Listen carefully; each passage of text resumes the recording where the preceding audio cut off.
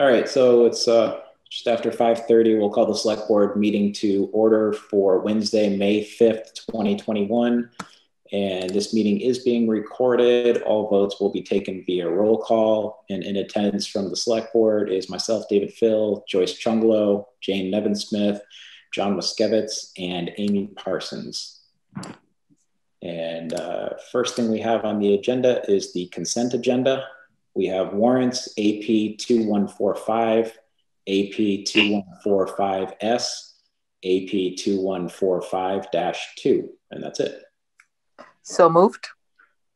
Second. Motion by Joyce, second by Jane. Any discussion? Jennifer? Roll call vote, Fill, Yes. uh, Nevinsmith, Yes. Chungalo, Yes. Waskiewicz, Yes. and Parsons. I have to interrupt. This isn't Amy Parsons. This is Amy Lamica. That is a problem. Sorry. I'll rename myself. Sorry. Okay. And I'm going to check with Amy Parsons and see if she's on her way. And I'm going to mute myself for just a moment. But that was a all eyes with four people, so it's still good to go. All right, so just to correct the record for uh, the minutes, it's David Fill, Joyce Chunglo, Jane Nevinsmith, and John Waskiewicz here currently from the select board. All right, so next we have uh, public comments. We'll limit this to 15 minutes, three minutes per person. If you're here for public comments, turn on your camera, wave at us, let us know you're here for public comments, please. Looks like uh, Ryan O'Hara uh, turned on his camera. Go ahead, sir. Hi. Yes. Hello. Very briefly, uh, my name is Ryan O'Hara. I'm here this evening on behalf of Peter Hieronymus and uh, just have a brief comment about agenda item 6.1, which is the North Hadley Village Hall RFP. Uh, Mr. Hieronymus wanted to, to appear tonight and just say that he thinks it's important for any bidders on that project to know, and whatever other members of the public are here, that there was a prior request for proposals for that project where Mr. Hieronymus was selected as the uh, successful responsible bidder. He is currently involved in litigation with the town seeking to enforce that contract and purchase the North Hadley Village Hall pursuant to the terms of that contract. And uh, that's just, in our view, a pretty important fact for both, of course, the board to be aware of in its discussions tonight, although I know the board is certainly aware of it, but also just the bidders themselves and then the members of the public who had previously so strongly come out in support of Mr. Hieronymus' own proposal. So uh, I'll limit my comment to that. I appreciate all of your time and thank you for letting me speak tonight. And uh, that's all. Thank you. Okay, thank you, sir. Anybody else here for, uh, go ahead, uh, Jennifer. Uh, Amy Amy was with the animals in the barn. She is sorry, but she is on her way. Just a little running a little late. All right, no problem. Um, anybody else here for public comment? Last call. All right, I don't see anybody else, so we will move on. Uh, we have kind of a long meeting, I imagine, tonight. So first thing we'll get to is the annual, uh, yeah, annual town meeting warrant presentation. If uh, Carolyn, if you want to start on that. Sure. Uh, before I start, David, is there a, uh, would you prefer that I just go uh, article by article, or I thought I could uh, go over what was not passed, uh, was not addressed at the special town meeting, as well as the consent, consent address uh, agenda, and then go into some of the more specific articles. Are, is that good for the board, or do you want to go back over those older articles? Do we need to, was anything that was left over from the meeting? Does the select board need to make a recommendation on that? You had made recommendations on them. Do it select board, Before. do we want to relook at those items, see if we still support those or not? Sure, why not? Okay, yeah, let's let's hit them all so we have fresh votes. Okay, yeah. excellent. Yeah, oh, wait a minute. Over wait. some, I had some questions on the ones we had already on there. Okay, excellent. Okay, so before Joyce had something. Oh, sorry. To ask a question. So um, in doing the warrants, are you putting in budget there? Or are you leaving that out? Not right now. The budget's not in here. Okay. The, the article to vote on it is, but we haven't put those final numbers in. Okay, because we haven't talked about a few things. Yes. Okay. Yeah. Thank you. Okay. So um, I just want you to know that this is your, well, it's your first draft with the motions, but it's probably my 57th draft. So I did not give you a lot of the drafts and update them constantly. So I hope that that was okay. But I do want you to know it's still in draft form. Even as we were posting it today, I saw some edits that I needed to change. You're going to see highlights with different colors. Those are simply for me of information that I'm waiting for or legal. I'm waiting for some responses from legal. Some of the explanations don't have anything in it because I'm waiting for whoever's going to be addressing that article to give me some uh, a, a, brief uh, summary of that article. So if you're good with that, um, I do want to also uh, thank Susan Kwiatkowski for helping me with it, edit it. She was my second eyes and she was a huge help. So I have I have not received a warrant. I did not pull it off of the computer, so I'm going blind here. We can um, actually, I'm going to have um, Jennifer pull it up. Would that okay. help? Yeah. Yep, that, that would be great. Thank you. And it, can I stop into town hall and pick one up on Friday? Absolutely. Thank yep. you. Absolutely. Okay. So Article one is regarding the emergency rental assistance for COVID-19. Would you like me to read it? How would you, I don't, I don't want to make it go too slow, but I want to give you as much information as possible. Do you want me to read the article? So this is the same article that's left over, right? And uh, I think all of us have seen this other than Amy Parsons the last time around. Um, I don't have, I'm off, um, somehow I don't have it on the computer. I can't see it. It's black. Oh, wait a minute. Here we go. Got it. Never mind. Yeah. Okay. You'll, you'll also see that the motions I put in italics, it was easier for me to differentiate between the two. Yeah, originally, and I don't know how you got the select board 500 because I don't think I voted for that one. And I know we had mentioned that, that article after the special town meeting, and we're going to lower that amount, I believe. If yeah. we even need it anymore, I don't even know. I was actually for this last time around. Um, I'm against it now based on the response we had with the Affordable Housing Trust money and the amount of federal and state programs out here. I don't think we should be using CPA money for this. So my vote has changed on this. Has anybody, have we had applications for other sources of funding for rental assistance? I think Dylan's here. Hey, Dylan, do you want to chime in on that? The recent check-in uh, was there was low interest in in um, the emergency rental relief. Uh, don't know what the updated numbers are. We do have a request to Jana to update that uh, because the Housing Economic Development Committee will be meeting tomorrow, uh, where we're going to discuss that, and we're going to discuss this article as well. So we'll have more information uh, after tomorrow's meeting. But but so far to date, there's nobody has outreached any funding for rental? The last time I checked in with the numbers, which was about two weeks ago, there was no applications. Correct. All right. Thank you. Can we just pass over this article? Can we? Well, let's. Does CPA need to pull it? Can we wait until um, it would be fair for them to have their meeting tomorrow night and then update us at our next meeting, and then we can make that decision. All right. Yeah, I don't see why not. But I, I thought we lowered that amount to fifty thousand actually, so let them do their homework on it and bring it back to our administrator and we'll take it from there. When do you, Carolyn, when do you need the uh, recommends numbers? I think that we're gonna, I'm gonna have you guys vote on it next week. Okay. All right, so I'm gonna, okay. Okay. I'm sorry. I didn't think we had a meeting next week, but that's my mistake.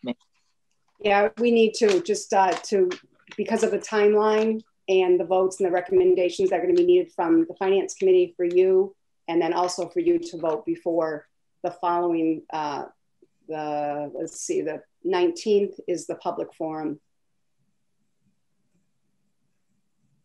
Okay. I can go on to Article Two. Sure. Yes, okay. please. That's the North Hadley Cemetery, Russellville Cemetery, and Hockanum Cemetery.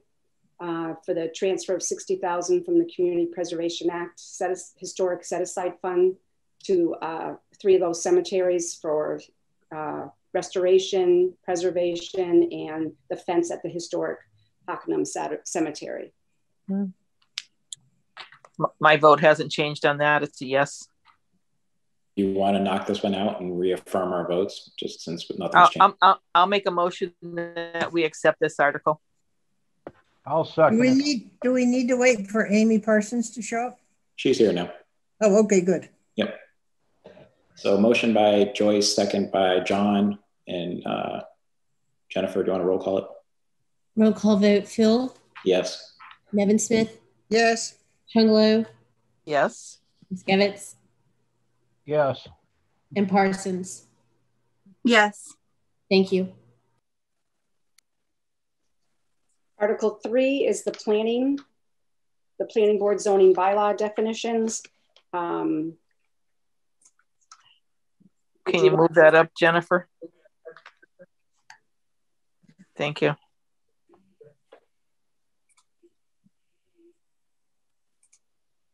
Did you want to discuss that, any of that? That's a planning board.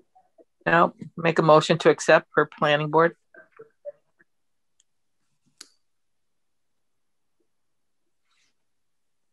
Do you need to have a second on that? I'll second. Okay. Motion by Joyce, second by Jane. Jennifer. I'm, I'm coming. I'm just, Scrolling, scrolling. uh-huh. Thank you. There we go. Um, Yeah, I thought we left this up to the planning board last time. We didn't vote on that's what I was going to say. I didn't think that y'all voted on those. Yeah, Yeah, actually, I see Bill's here from the planning board. Sorry, Bill. Didn't even see you there. Uh, did you want to say anything about this? But uh, or we typically leave these to you, right? Typically, you do not take a position on planning board articles. I was just giving you a, I was just giving you a hurrah tonight, Bill. we passed over it at, at the other town meeting. I want to make sure you get it there this year. Third time around, third time's Third the time, charm. third time's a charmer. So I just wanted to make that motion. I'm in favor of it, Bill. Will you withdraw your motion, Joyce, so that way we can? I, I, I guess if you want me to, uh, David, I will. Yes. All right. excellent. So we'll move on unless Bill wants to chime in anything on the definitions. Uh, no, it's um, this is really, despite its length, a, a housekeeping article. We're vacuuming up definitions that appear in 20 different places in the bylaw and putting them all together in one um in one spot. Sounds good. We like housekeeping. Yeah, thank you. And Bill, you'll see that those changes, uh, the formatting and the changes that you had sent aren't in there. I didn't uh, put those, I didn't uh, adjust them for tonight. Okay, They will. So if you review it and you see that up, they're not on there. It's I haven't gotten to that yet. So okay, that's fine. that's the same with Article Four as well. Okay. Yes, we're, we're leaving it to them. Okay. Article five is the stretch energy code. You Want to go, how much do you want me to read? How much information do you want? That was from left over from special town meeting. Uh, nothing. That's that's fine. Did we need to take a motion on that? Yeah, are you guys ready to vote on that tonight? I'm, my vote hasn't changed, so I'm all right with it. But Where are we on it? Is it five to nothing? uh, Was, Yes. Was. it- A- Amy, did, did you have any questions about this one, or are you okay to vote on this tonight, or what are you thinking? That's fine. Okay. Okay. Can I get a motion? So moved. second, Motion by Joyce, second by John. Jennifer? Roll call vote, Fill, Yes. Nevinsmith, yes, Chungalo, Yes. Waskiewicz, yes, Parsons. Yes. Thank you. Okay, so Article six is grants and gifts. That's part of the consent agenda. Um, it's just giving the town permission to accept grants and um, gifts so that we don't have to come back and ask each time that that happens. Uh, why wouldn't we want to take money? It's really, it's, this is more of a housekeeping as well. So this is on the uh, Consent. uh, consent agenda, correct? Mhm. Yep. Um, so moved. Second, Roll call vote, Fill, Yes. Nevinsmith, yes, Chungalo, Yes. Waskiewicz, Yes. and Parsons. Yes. Thank you. Article seven is on the consent agenda as well. That is chapter 90 funds that come in pretty much automatically for highway. And there's a little history of what we, I went back to FY ni- 2019 to show you what we've taken in. Mm-hmm. I motion to approve. Oh, second, second, but I, I had already mentioned, we need to take a good look at that chapter ninety money. And as the board used to drive around and take a look at how it was spent, Joyce, Yep. number, we- we need to get back to doing that again. I'd be happy. I'd be happy to do that some night and take a ride. Yeah, yeah, I, I just, we've had a couple problems and I don't want to see it happen again. Okay. Sounds like a plan. I Uh, think it would be that the DPW director would set up what he feels is, and then we would go on that tour uh, and see if that's actually what where we wanted to put our money at that point. Yes, exactly, yep. Okay. Sounds like good idea. all right. So the who was who made the motion? I did. All right, and seconded by Jane. Uh, Jennifer. Roll call vote, Fill, Yes. Nevinsmith, yes, Chungalo, Yes. Waskiewicz, Yes, and Parsons. Yes. Thank you. Article eight is short-term borrowing. That's another consent agenda that gives the treasurer uh, approval from the select board to borrow money from time to time uh, when they're anticipating revenue, but it hasn't come in yet. So moved. second, Jennifer. Okay. Uh, roll call vote, Fill, Yes. Nevinsmith, yes, Chungalo, Yes. Waskiewicz, yes, and Parsons. Yes. Thank you. Article nine is consent agenda as well. That is for fund balance transfers. This is uh, any money that we've used for borrowing or we borrowed for and we um, have leftover money or it wasn't it wasn't needed and, and another uh, revenue source paid for it. That would have been uh, the special town meeting, Article 19 for the school parking lot. There's 11,000 left. Um, so that is uh, the balance is being returned to, to replenish borrowing. So moved. second, Motion by Joyce, second by Jane. Jennifer. Roll call vote, Fill, Yes. Nevinsmith, yes, Chungalo, Yes. Waskiewicz, Waskiewicz. John, are you with Yeah. us? yes. Thank- I got it. My screen- Parsons? Yes. Thank you. The next is consent agenda. This, you've been doing this for a few years, the Water Treatment Filtration uh, Stabilization Fund. So moved. Okay. Joyce, Jane with the second. Jennifer. Okay, roll call vote, Fill, Yes. Nevinsmith, yes, Chungalo, Yes. Waskiewicz, Yes, and Parsons. Yes. Thank you. And then Article 11 is uh, the Community Preservation Act Committee's, um, is, uh, is on consent agenda.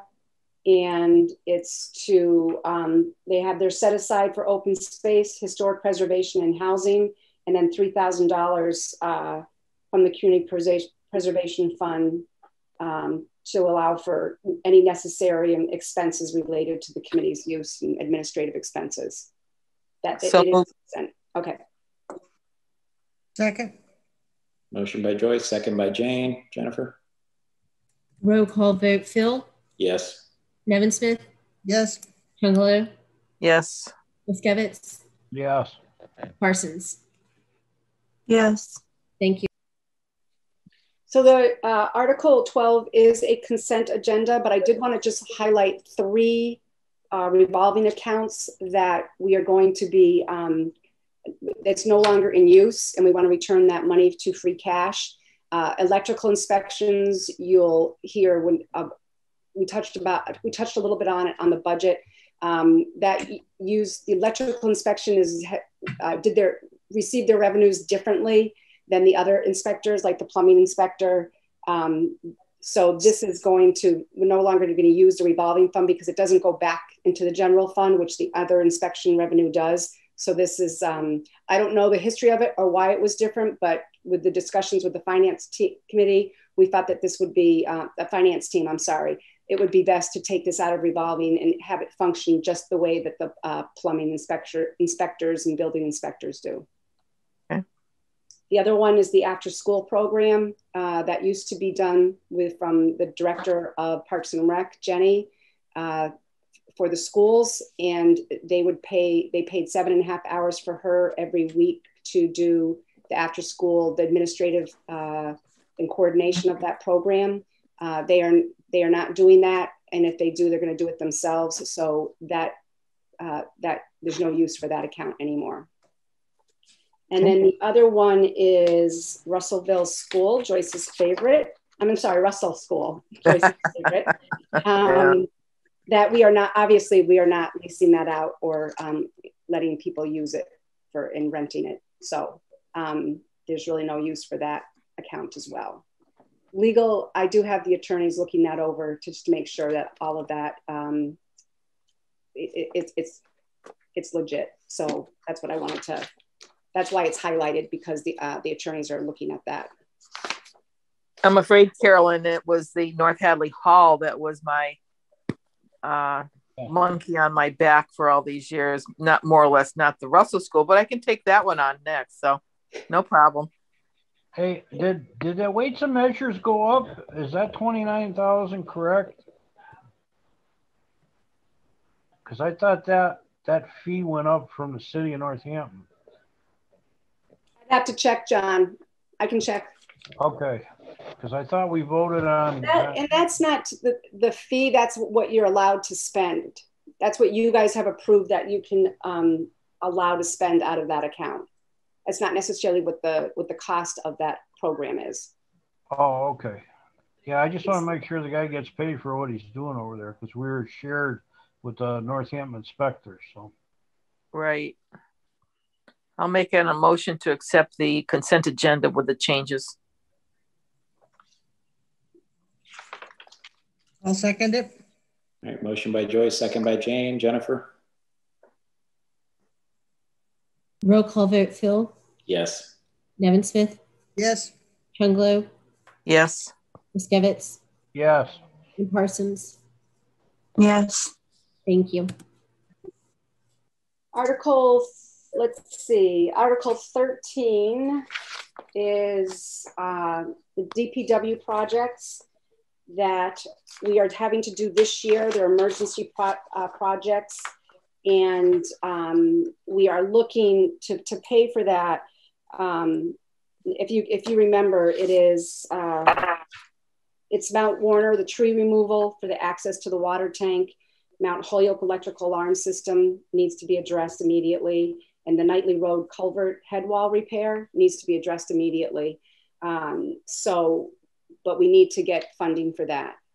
So we're looking at it, we ha I have borrowing here. I don't think we're going to have to borrow. Linda and I were talking more specifically today. We may be able to repurpose some borrowing from another uh, article, especially with the culvert. There might be some extra money, um, but we probably will be able to um, use water reserves. But that isn't that isn't definite yet. So I just want you to know the source may change. I thought Chris said that electrical was going to be about 80,000 from Mount Holyoke.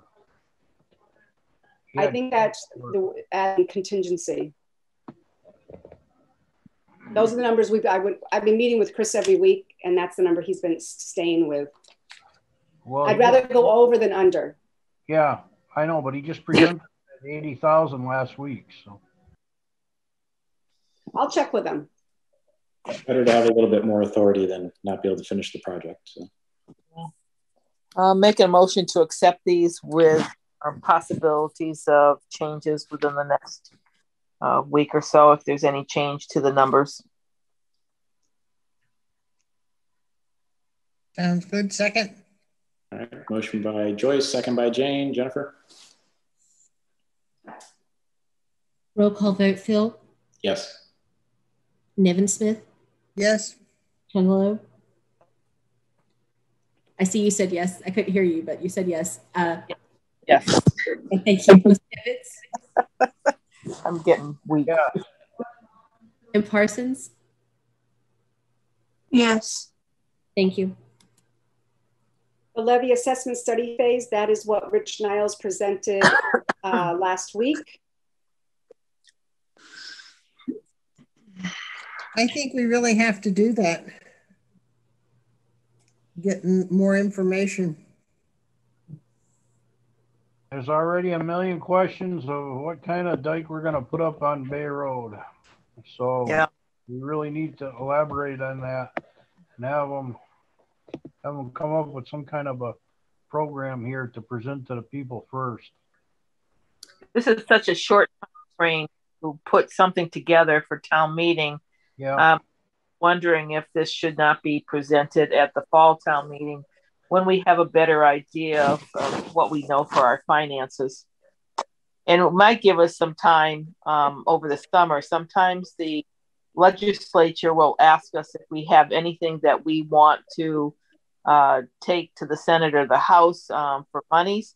Uh, this certainly might be one of those things that we can give them this year. Well, as he said, you know, if we, if we spend this amount of money on the legwork right now, this probably will go into a federal program, uh, because it was built by the uh, Army Corps of Engineers originally. so. But the Army Corps of Engineer, when we were having a break in the dike, didn't want to have anything to do with it. I, Oh. I, I understand that, Joyce, but this is just one little leg of this whole big project that needs to be done before we. Oh, I am money. Agreement with you, John, that it needs to be done. There's no doubt about that. I'm just worried about the funding where it's going to come from. Well, let's give it to the town to make the decision. Well, they can make the decision as to us as the, basically the keepers of the town um, on how we want to fund this. Uh, we don't have any monies anywhere. We would have to do a, I would say, a borrow on this to see uh, about getting it done. Um, my thoughts were again is to certainly put this out there to our legislatures to help us um, with this project, um, whether it be just the uh, contingent on what they find for the first leg of this trip. Uh, and then it certainly is going to have to be, we're going to have to tap them if there needs any work done on it, um, which they did really support us the last time, thanks to John Scibak. So let's um, let's see what they come up with and then see where we take it for the townspeople. I think that's you know basically what this is the position that we're in. This is part of what we need to do as a select board and not necessarily put it all on the townspeople to do it. This is something that is the town. It protects the town, and that's part of our job. You know, whether we don't need to take this to the people, that's our job to be able to protect this town for any break. Dike. So I think it lays with us and not necessarily townspeople. Well, it lays with us, but ultimately, if we don't get a, anything offered from the legislature, then we're going to the town later and it's going to cost more. I think we should get the go ahead to do it. And then perhaps there will be an opportunity to ask for the money before we start the project. Well, I don't mind. I don't know if it's now or in the fall. That's my my take on it. Yeah, I don't think that um, these people have given us enough money time. I know they're asking one hundred fifty thousand dollars right now to do the legwork. Um, you know, and I don't mind supporting that if that's what everybody wants to do. I know it needs to get done. John, where are you on this? Yeah, I mean, we need this before we even approach the state or the federal government on this. And this isn't a project that's gonna happen in the next four or five years probably. So if we get this much done and we can apply for the grant money and they're like a matching fund thing, I think it's only gonna be in the best interest of the town and the taxpayers, so. Well, if they want to do their presentation to the town at town meeting, that's fine. You want to do it this this uh, coming May, this month? Yep. Uh, Carolyn, the gentleman from the consulting firm is going to come to town meeting. Is that correct? Yeah, he will do either if you wanted to have him come to um, the public hearing or the meeting, he will do, he, he was open to doing both of them. I thought he gave a Would great, do both? I think he might be, he might do both. I threw out both of those to his to see if he'd be available. I move we put this on the warrant as is. Yeah, I'll second it. Motion by uh, Jane, second by John. Jennifer? Roll call vote, Fill, Yes. Nevinsmith, Yes. Chungalo, Yes. Waskiewicz, Yes, and Parsons. Yes. Thank you. I'm going to skip um, to Article 17, water and sewer line replacement on Route 9.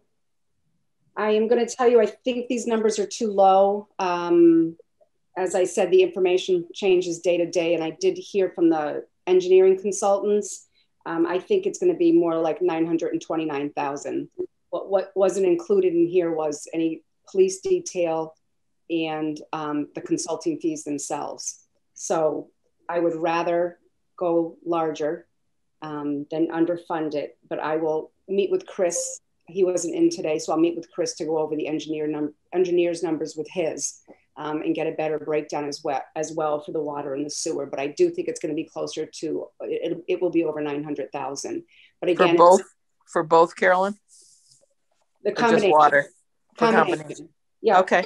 But Yep. again, it is uh, saving the town over a million dollars. And Joyce, this was an example um, of I did reach out to our legislators and our um, uh, our congressmen, Mhm. but um, I kind of got di- diverted back to uh, a grant program that I will be um, pursuing in June for MassWorks. And so it's on the warrant that we would be borrowing for that um, with the anticipation that may get reimbursed by MassWorks.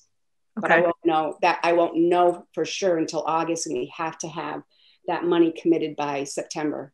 yeah, I, I think we have to have a certain amount of money committed before they'll even consider matching funds or grant. Right? Okay. So, can, and I, guess why are we borrow? Don't we have enough in water, the water enterprise fund, to at least pay the water portion of this rather than than actually borrow? Is that something that's a possibility? It's just if you there's it's definitely a possibility. And again, these aren't set in stone. What I have, I just wanted to put something in here. Linda and I are talking more about that. I, I think it's going to be a decision that um, you know we'll have to bring all of you into because you don't want to drain some of those accounts that much. But Yeah, I know it's you know sewers next to nothing just because of the expenses there, but I know water is doing pretty well. I think we have a million or so. Linda's here. Linda, you know. The the number. problem is if we have some more emergencies, David, she, she'd rather borrow a little bit than spend, expend all our money from those incorporation funds, those enterprise funds. Had a water Yeah. break on the road today. Remember that?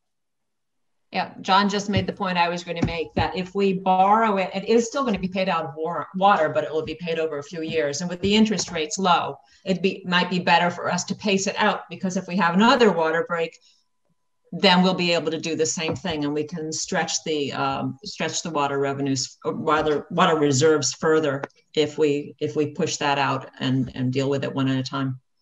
So the, the price you've put in there at 800,000 and you think it's actually going to be not more than nine, should we correct that number? oh yeah, those that, that just came in today. So you're going to see a lot of none of the content of these articles will change other than if the if I get more specific numbers or a narrative that is better than what, what I have here for any given article after uh, town counsel reviews it. So um, those, I'm, I'm definitely going to put that up to, I think it's going to be like 927 is what the number, but um, I just didn't have time to, to update that. And I did want to talk to Chris as well. I'm going to make a motion for us to keep this on the agenda uh, with uh, fluid change in the numbers uh, as needed. Second. Motion by Joyce, second by Jane. Jennifer? Roll call vote. Fill? Yes. Nevinsmith? Yes. Chungalo? Yes. Waskiewicz? Yes. Parsons? Yes. In Article 18, um, instead of me explaining that, I think uh, Chief has talked about it with you before, but I think I saw him on. I don't know if you wanted to have him provide any information about it.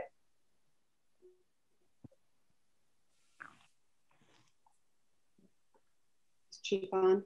Yeah. Did anybody have any questions? Sorry, Mike, I threw you. I didn't warn you.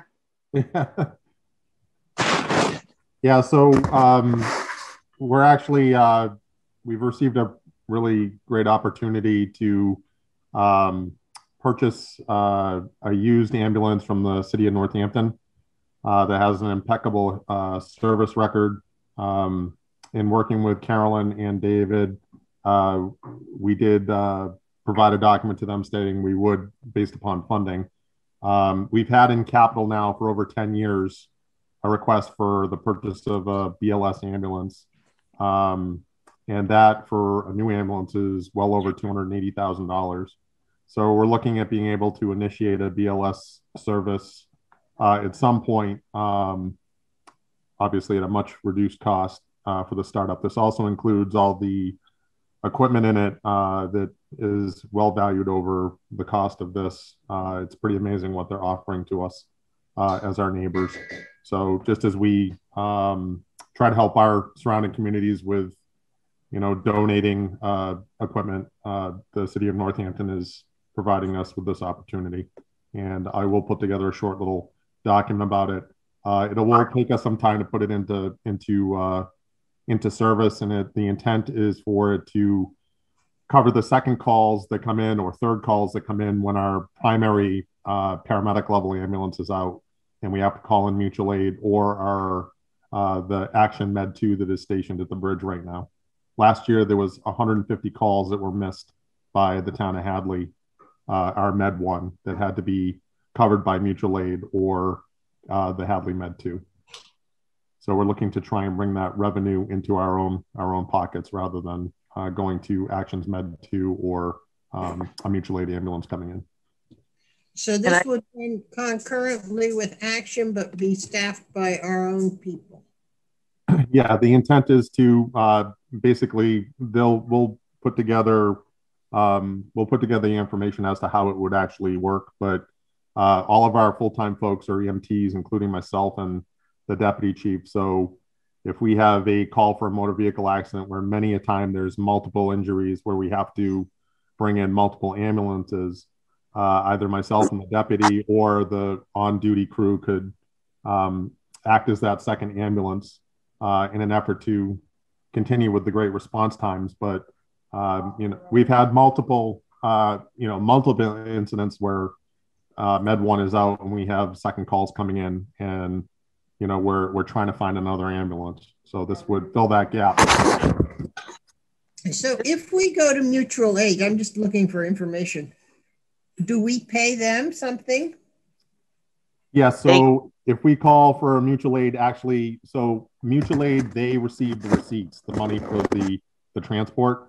Uh, if we call a mutual aid intercept, so uh, if Med 2 is in town um, and we need to request an, an advanced level of care, so if it's a, you know, it's a, a heart attack or something more severe, uh, basically we pay a, a, base fee to our, our, um, our communities that we have our ALS intercept agreements with.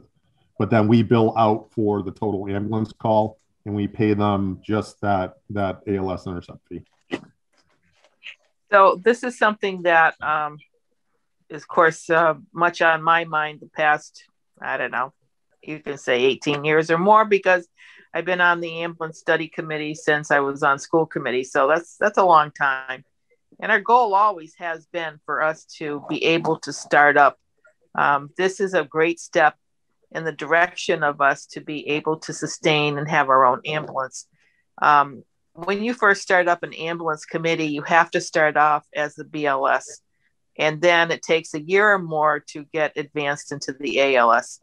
So my my thing is is that this is a great opportunity uh, and a great price um, for us to purchase this uh, ambulance and uh, be the backup and not miss the calls and the revenue that we could be um, getting from that. We have had great service from Action uh, the first year we got great money back. And of course, with COVID, it makes a difference because we have not had a lot of calls for Amherst, um, you know, for university and things like that and the traffic. So that was cut back a little bit. But as we see the light at the end of the tunnel here with schools reopening around us, um, this is certainly going to be a service that would um, benefit our town. So I certainly am in favor of this, and I would like everybody else to support it. Yeah. So my vote is to make a motion to accept this uh, purchase of a used ambulance from Northampton. I'll second that, but I have one more question for Mike. Okay, good. When you um, put together your conversation about this for town meeting, could you please include some numbers that will show how quickly this $20,000 will get paid off so that the people will recognize that? Absolutely. That um yeah, I mean if you're looking I can tell you right now we've done some we've we've done initial research on what uh, communities around us are charging for a BLS level of service and you're looking at between a thousand and fifteen hundred dollars per call. So right. I mean so very few calls. Very few calls, yeah. How We're also still attempting to find some donations for this ambulance as well um, to further decrease that. So we're still we're still working on that. Um, so I would hope maybe we'll have some good news for that as well. The other number that would be useful is how many of those calls did we use? Not last year; it wasn't a regular year. The year before.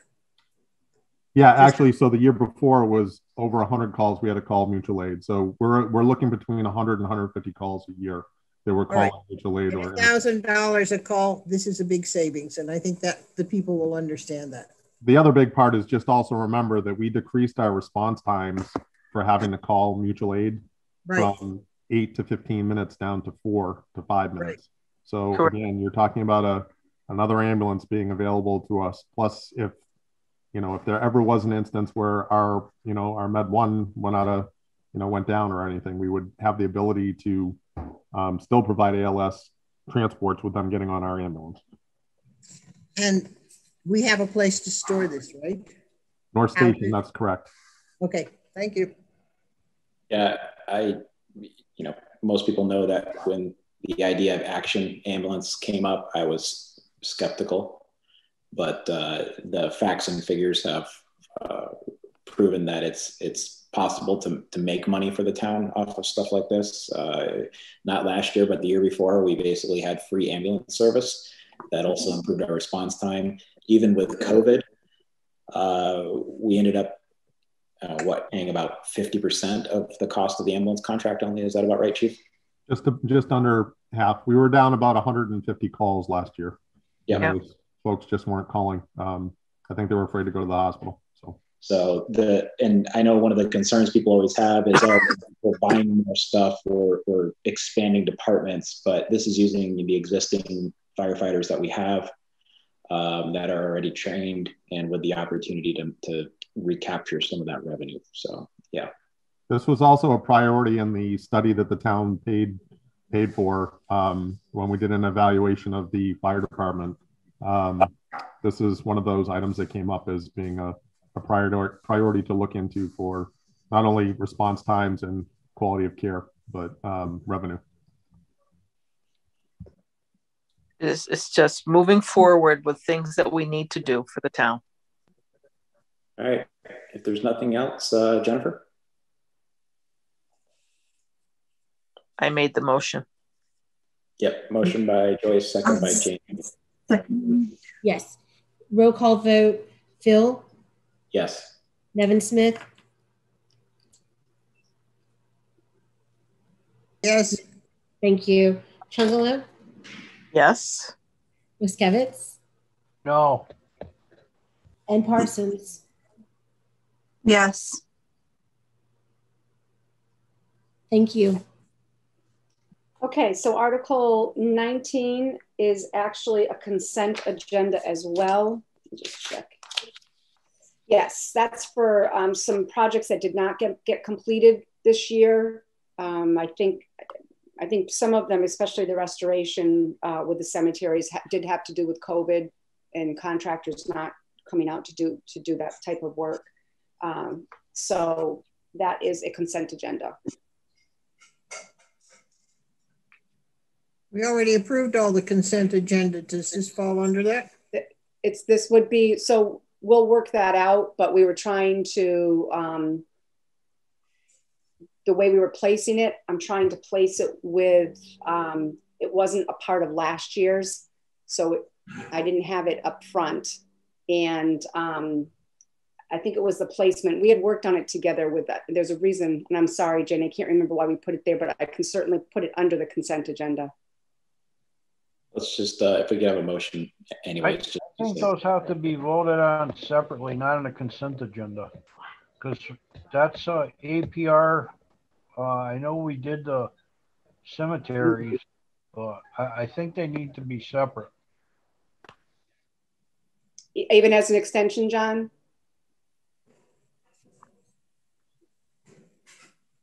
Well, so Yeah, If I- if we could just get a motion, because regardless of where it's located on the article, we could just record our votes, that'd be good.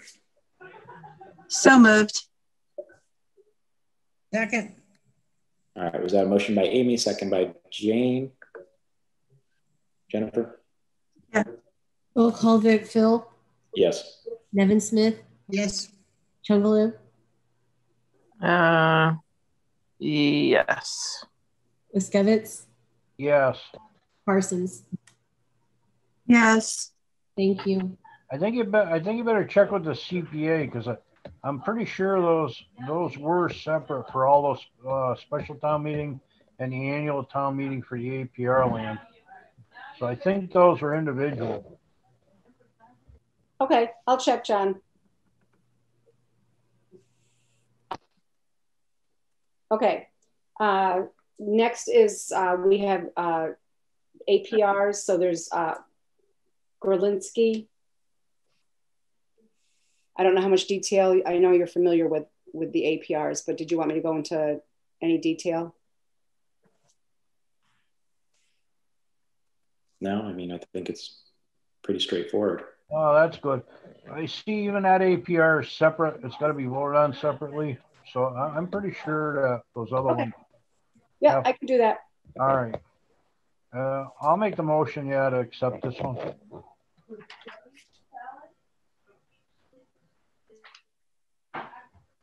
second, Second.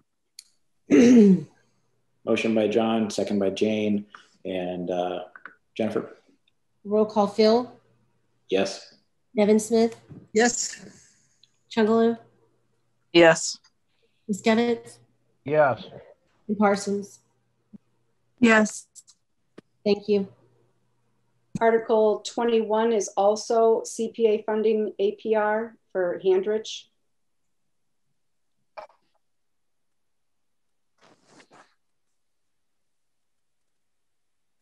Yeah, uh, so moved.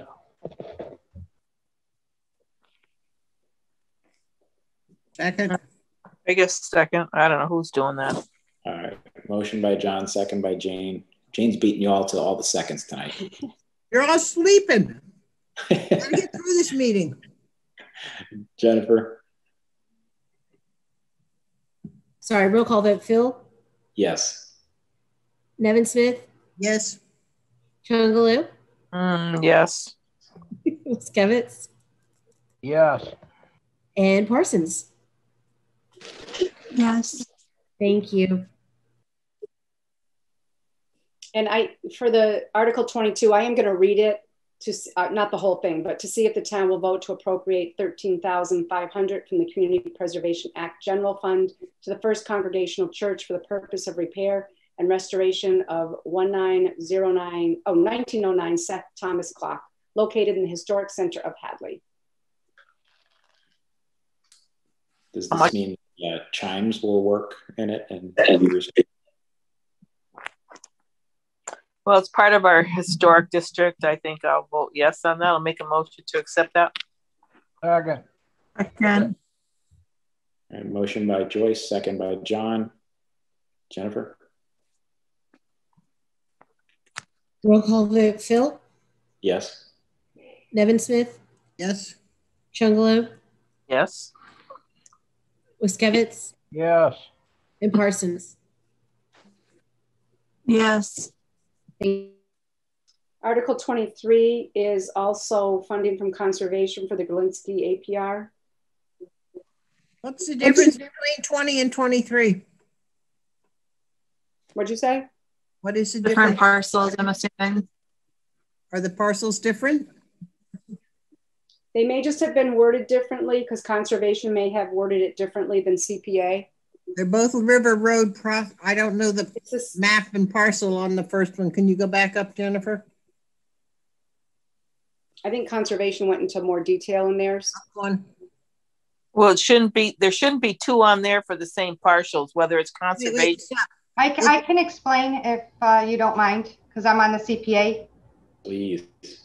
Okay, so what it is, is on these APRs, Gorlinsky and, um, well, actually in Hanrich, they're both funded 90% by the state and 5% is going to come out of CPA funds and 5% will come out of the conservation, um, um, the TDR, I think it's called. Um, they usually show on the warrant. Um, my recommendation is maybe we can link them together because usually they're on the same page, one right after the other. But because they're coming out of two different um, accounts, one's TDR, one's CPA, they do show separately. That's how they have been in the past. But it is half and half. the same parcel. It's exactly the same parcel. All it is is um, it's half of it's being funded out of one account, half onto the other account. So the town's funding 10%, state's funding 90%. I haven't seen it split like this before. On Well, town warrants. Yeah, it shows on the same page. Usually, it, it looks like it's the same thing. It's and, and it's talked about one right after the other, but usually, and it's just All- it TDR. all- Yeah, it all usually comes out of CPA. That's why, Joyce. This has got two different funding uh, parts to it. So Mechanisms, okay. So can we at least put them next to each other on the warrant? So 20 and 21, so that the people don't say, how come they're not next to each other? And then they can just run right one to the next, say, you just voted on this one, it's voted, money's coming from here, and this one, the money's coming from here. Same I mean, it would be the same thing with the Handrich one because that was Article 21 and now it's 24. Right. So you're, I still have to put them separately, Jane. You're, you're not saying the same article, right? No, No. separate Yeah. One after another. Yep. just change the The article. subsequent articles. Carolyn, were you just trying to keep the CPA together and then go on, right? I was, yeah, Yeah. this is fine. Yep. Okay, so I I missed that if we had a motion, but can someone make a motion to approve this? I'll move. So moved. All right, that was Jane, and uh, can I get a second? Second, Second. Second by Joyce. And uh, we'll let Carolyn shuffle the article numbers around, but the substance is going to stay, stay the same. So Jennifer? Roll call vote, Fill, Yes. Nevinsmith, Yes. Chungalo, yeah, Waskiewicz, Yes. and Parsons. Yes. So David, that motion was just for uh, Article 23 Three. or all of them? No, tar- 23. Okay. and 24. Let's just get it done, both, all of them. Well, we already voted on that one, but So that leaves 23 and uh, 24. No, we just did 23. Yep. Okay. 24. Sorry. Yep. So moved. Second. Second. Motion by Joyce, second by Jane. Go ahead, Jennifer. Roll call vote, Fill, Yes. Nevinsmith, Yes. Chungalo, Yes. Waskiewicz, Yes. Parsons. Yes. Thank you. All right, so Article 25 is the river bylaw, so we'll skip to uh, 26, which is the annual town election date.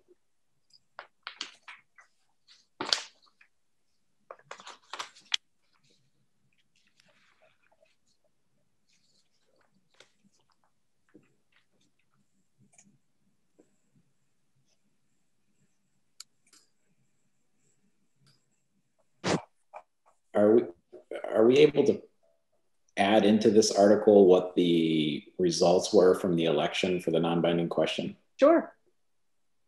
Just so people have that information. Yeah, I mean, we that's can, great. we can tell people the day of, but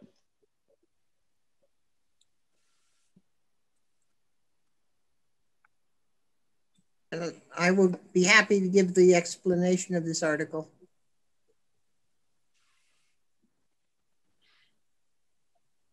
Can we get a motion, please? I'll move. Okay.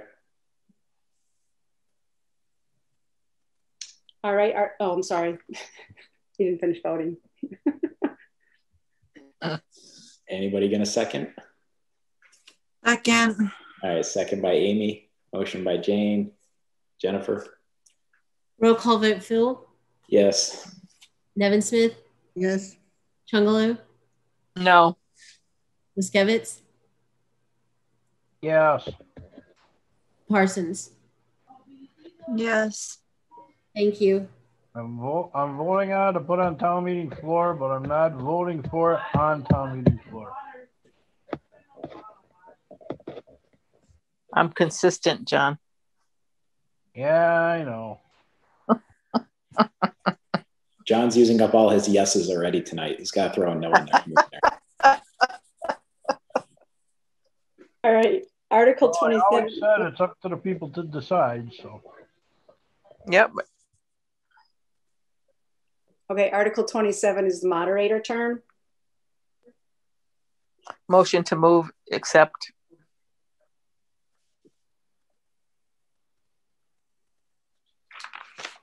Second. All right, motion by Joyce, second by Amy. Jennifer? Roll call vote, Fill, Yes. Nevinsmith, Yes. Chungalo, Yes. Waskiewicz, Yes. Parsons. Yes. Thank you. And the last article is the parking ban. Motion to accept.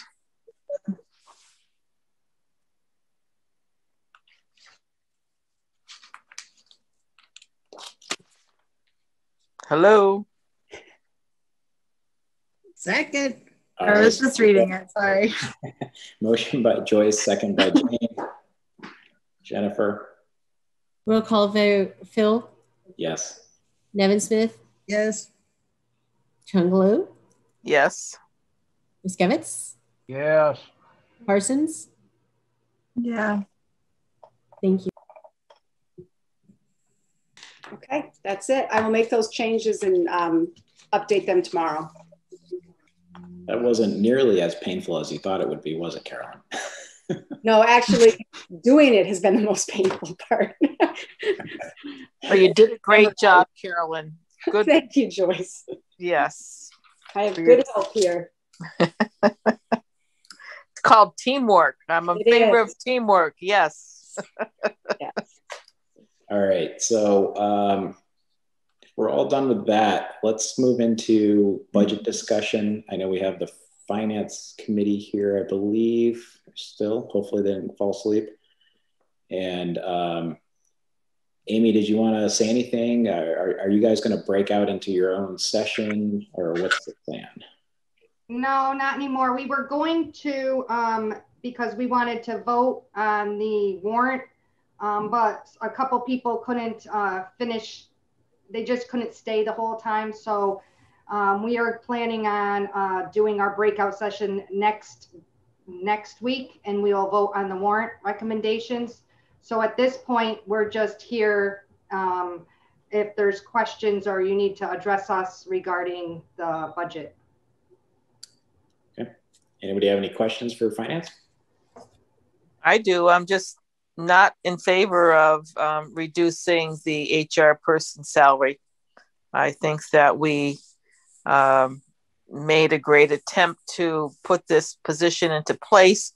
Uh, yes, we did have a part time person that took over the job while Ed was away, but I think that we're defeating our purpose by when we put this position into place. And I think there are some things that um, Deb was not able to get to.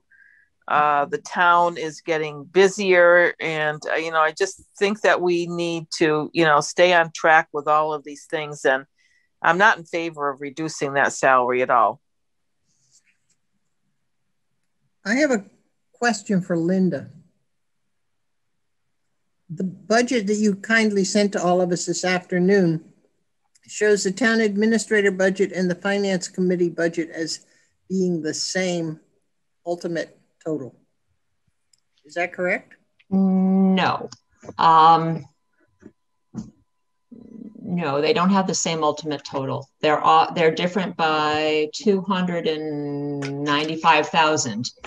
What you're looking at, I believe, um, is the top, the, the very top of the first page. Yes, that's which is how to balance the budget. So the, the bottom line comes out, they're getting balanced the same. But what finance committee and um, Amy, let, us make sure I say this correctly. Um, do you want me to share this? That's great because I was trying to pull it up on my phone. Okay. Um, can can I share, Jennifer? Okay.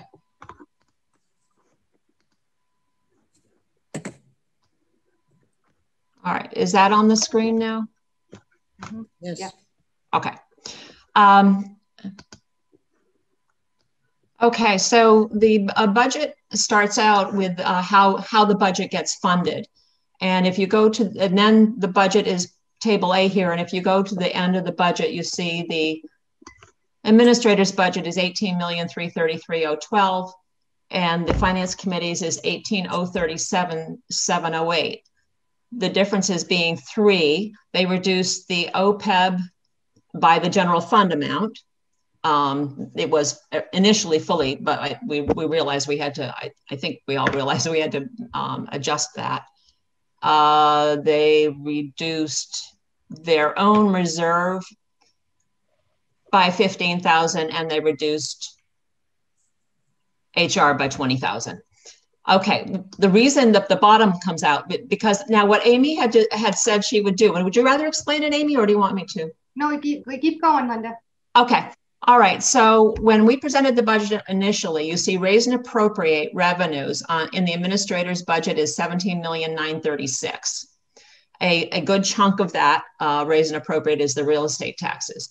So when they reduced the budget by, I'm, I'm going to say roughly 300,000, um, which is what it roughly is, um, Amy said uh, that the finance committee decided that they would uh, or, or advise taking that money out of the amount that was being raised in taxes. So you'll see the top line there for finance committee is 16,705. The other numbers then stay the same. So that's how the, the budgets both end up being balanced the same at the bottom line. But uh, because finance committees uh, amount being funded, and you see it here, the 18 million three and the 18037, they're diff- they're lower budgets and uh, lower taxes being applied to the budget. Does that make sense? Yes, thank you. Okay. Is that right, Amy? That's right. And so okay. that's, and then Dan sent through a, um, the tax rate um, uh, chart with where the finance committee recommended on that chart afterwards. Right, right. so rather than, so on that chart that we were originally looking at, oh, which is this one, which isn't the most recent one he sent, but roughly you were looking at this $350,000 line, how much is needed for the budget, and you reduced that by about your 300 and ended up down here somewhere. But I know he has a new, he has a new one, but I don't have that one. The, the rate, if I may, the rate was 3.8% uh, change and it's 1246.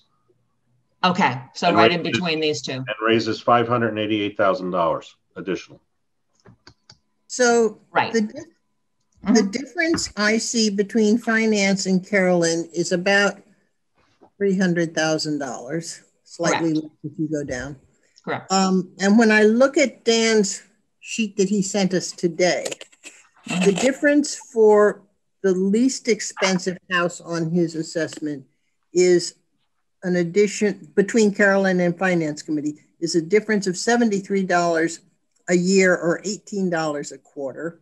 And the most expensive house, the $900,000 house, which must be lovely, uh, the difference is $261 a year or $65 a quarter.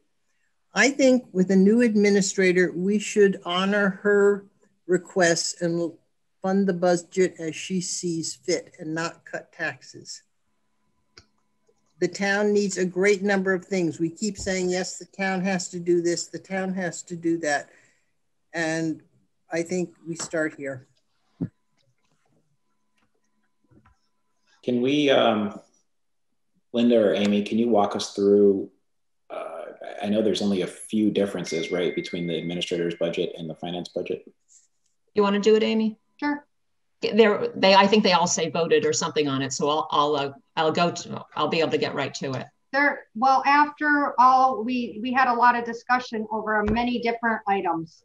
And uh, after all said is and done, there is ended up being just three items that really affect it. That would be the OPEB. We're pushing off the majority of the OPEB to the to the fall. Okay, and so that's the OPEB. We're you doing the finance reserve. We were seventy-five thousand last year. Okay, um, which we have been normally fifty thousand, and we are fine. But last year we moved it up to seventy-five thousand because of the pandemic. Um, it was recommended maybe we even go up higher to the 100,000.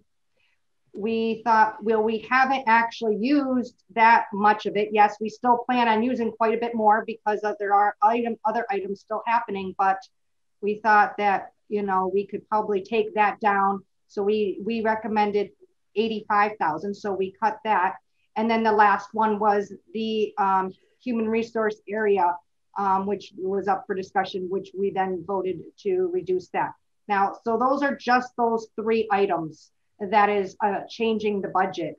Um, so it's up to your recommend. We wanted now to put present it to you for your recommendations on how you would like to see those three items. If you want to take them up separately and discuss it, or if you wanted to do it as one whole.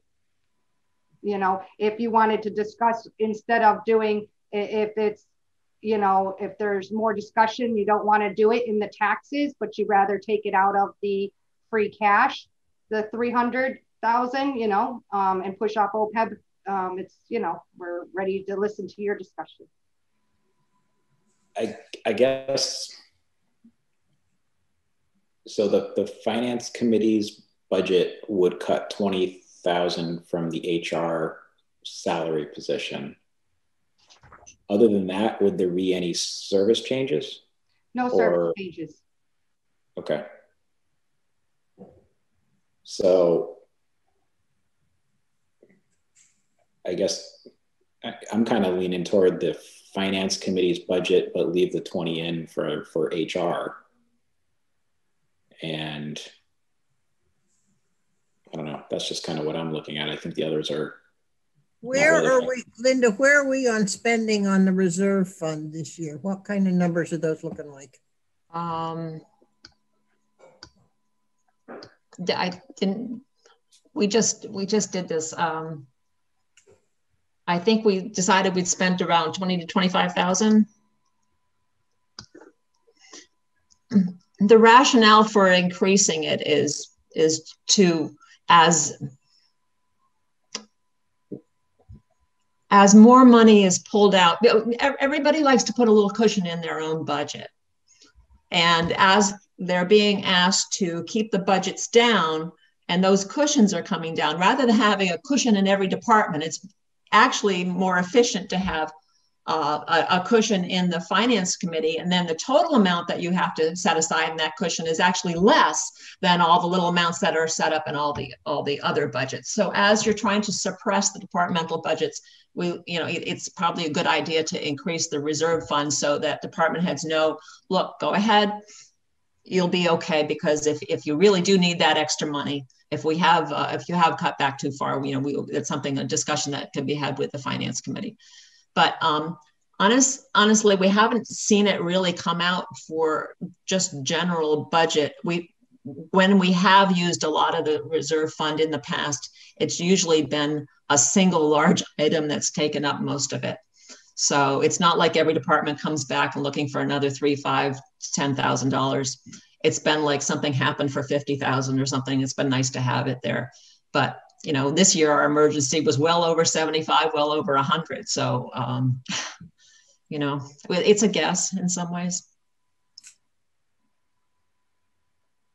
I'm going with David. I, I agree with the finance committee's budget, but I would like that money put back into HR.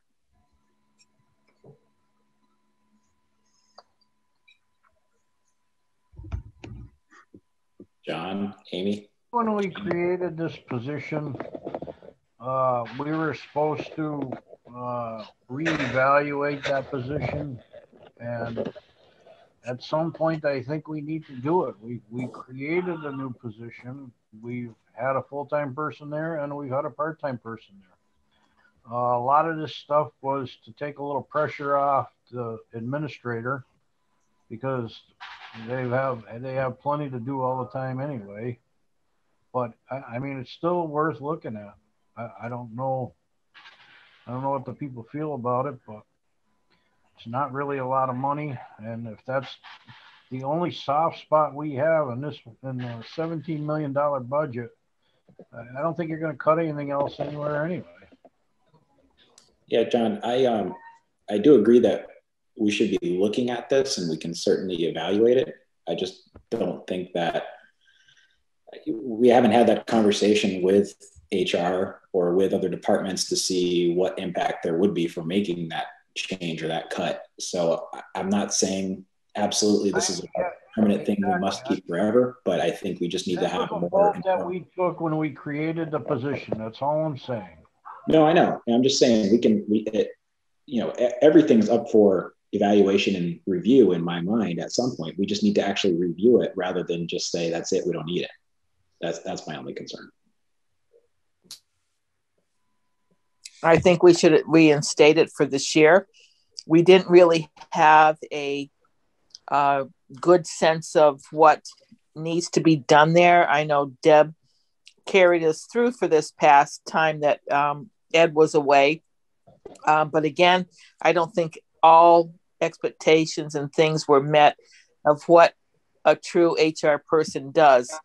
And I think he should have that opportunity to do that now that there's actually somebody in place there full time and looking to see what else we can um, generate from him uh, for that position. So I'd like us to at least be able to explore that for this year. And I'm willing to, you know, put that $20,000 back to make sure that that's what that position can offer to the town and uh, help us grow in so many other ways. So this is one thing we've wanted to do for the past uh, probably let me guess now seven years uh, i'm putting that position in place. And mm-hmm. i hate to all of a sudden after a year that we want to chop it.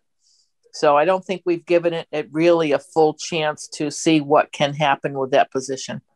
So i, I would like us to keep it for this year uh, see how we do what we need to do and how it works out now that COVID is starting to back off a little bit. Um, different things are coming about, personnel changes. We have a older population uh, in our school systems and town. of people retiring and things of that nature. So things that you know would come along like that. We've sustained um, only doing a temporary uh, MOAs with our fi- uh, police rather and our DPW for contracts. So that again will be coming up uh, before their term is ended for next year. So that's another thing that uh, we will be negotiating and part which we hope that the HR person uh, will be undertaking at that point also. So there are things that are going to be a little more extensive than just what we did this year. So um, I think we need to really take a look at that. I agree. Thank you, Amy. So, uh, Amy or Linda or uh, Dan, what what are we looking at? If obviously we need to vote on this, but if we were to go with the finance plus adding back in the 20 for HR, what would be our increase roughly for, or where would we fall in the chart that Dan sent out? Well, it's exactly 20,000. Can you pinpoint that on the chart, Dan?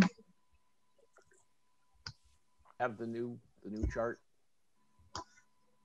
It looks like it would be just the next step up. The next step up. Looking to me, it looks like it would be at 4% for the 12.48. So it would increase to the next jump. Yeah, it would be the 608,000 or 4%. I'm not hearing Dan very well. You said four percent. Four percent. Go from 3.8% to 4%. So it's two cents on the tax rate. So it's about $7 for the average household.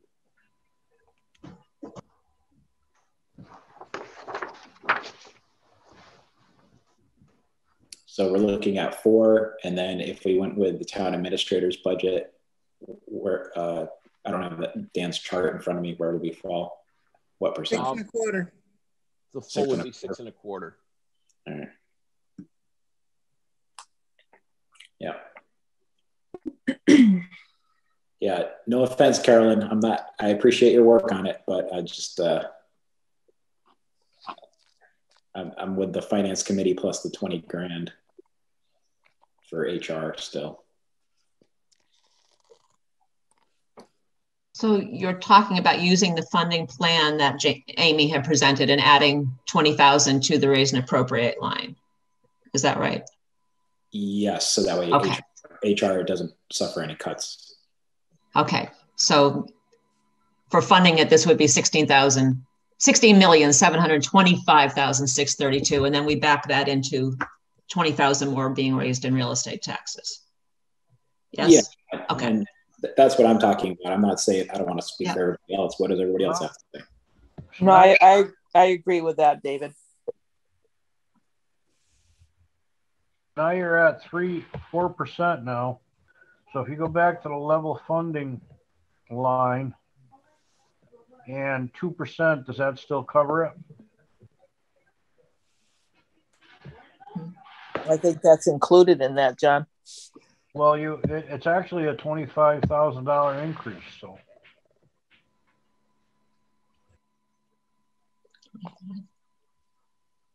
I guess I'm not sure what your question was, John, as far as level uh, level funding. Level funding's at seventy-five thousand and, uh, plus twenty would be the finance committee's eighty-five and the town administrators was at hundred.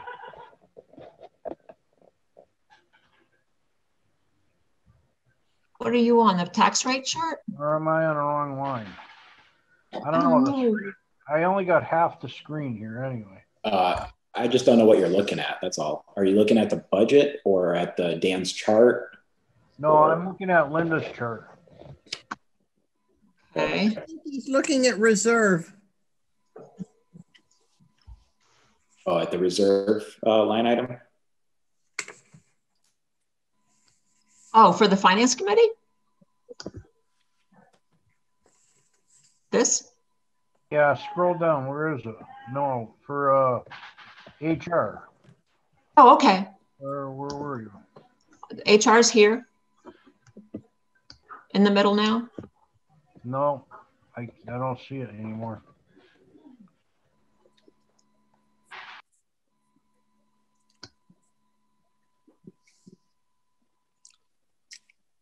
So on that HR HR line item, Mm-hmm. the level fund was 109. The administrators was 127. Why, why did it was there a salary increase there on the contract or something? Is that why that went up? The a dollar, so there the it was I, I believe it would have been even less, but we just did 20. Um, this the HR director's salary is 70 about 74,000. So um, and then we looked at what Deb what the what we had spent last year. Um, and then that's where the difference was about 20, but there was also that was that was only the part-time was only part of the year. We didn't want to undercut that spot. So we didn't say we didn't calculate what it would be saving with everything else, you know, pension, the benefits and everything else. All we did is just say, okay, let's bring it up for discussion uh, let's use 20,000. And that's where we came up with the number because it came from what we had last year spent versus what this year's request was.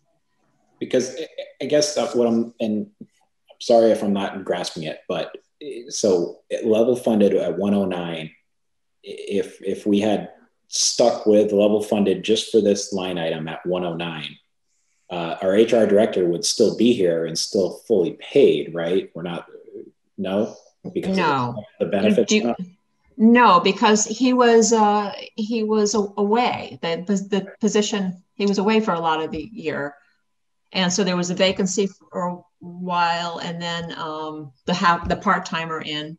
Do you want me to pull the budget up? No, I mean you don't need Okay. to do that. Just give us an Okay. explanation why why we want to cut that budget by twenty thousand when we only had a part time person last year that just filled in for what we needed at that time. Right. But there's a lot more that needs to be done. So and I'm not sure why we're nitpicking here. Because Um, Carolyn's budget shows that.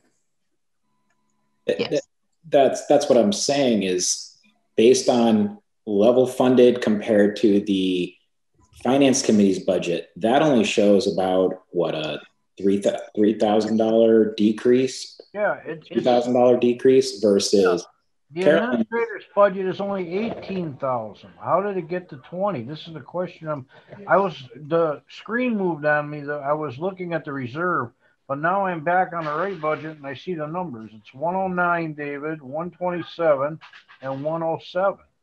right. So I, I, that's what I, I'm just not quite Okay. understanding where those three. I I have the I have the HR budget here. Do you want me to share that? Yes. Please. Okay. Um, how do I switch? Do I have to stop and then start again? Yeah, get it on your screen. You have it? Yes. Okay. So the green, um, what happened? Uh, oh, I think that that's interesting. Um, I think that there was an adjustment made for the part for for the uh, when we voted it last year. We didn't know what was coming up this year, so I think we must have we must have done a revote in the fall and made an adjustment for the salaries. Yeah. I we- honestly I can't say now why that says 109 on the other page, but um, Six or seven thousand dollars because there was a balance difference in a line item. We just voted probably, I don't know, a month or two ago to raise, uh, to raise that a little bit to cover the full timer and the part timer. So yes, it was raised to, for 21 to finish out the year. Um, My question is, so which number, if we made zero changes in HR, just kept our one HR director, which number would be correct for for for uh, this next year? Carolyn's is closer. right, because we've got the last year's the FY21 does not reflect the 56.5 does not reflect the, the amount that you signed with his contract. It reflects his being away. Okay. And a replacement, and it's not enough even for that.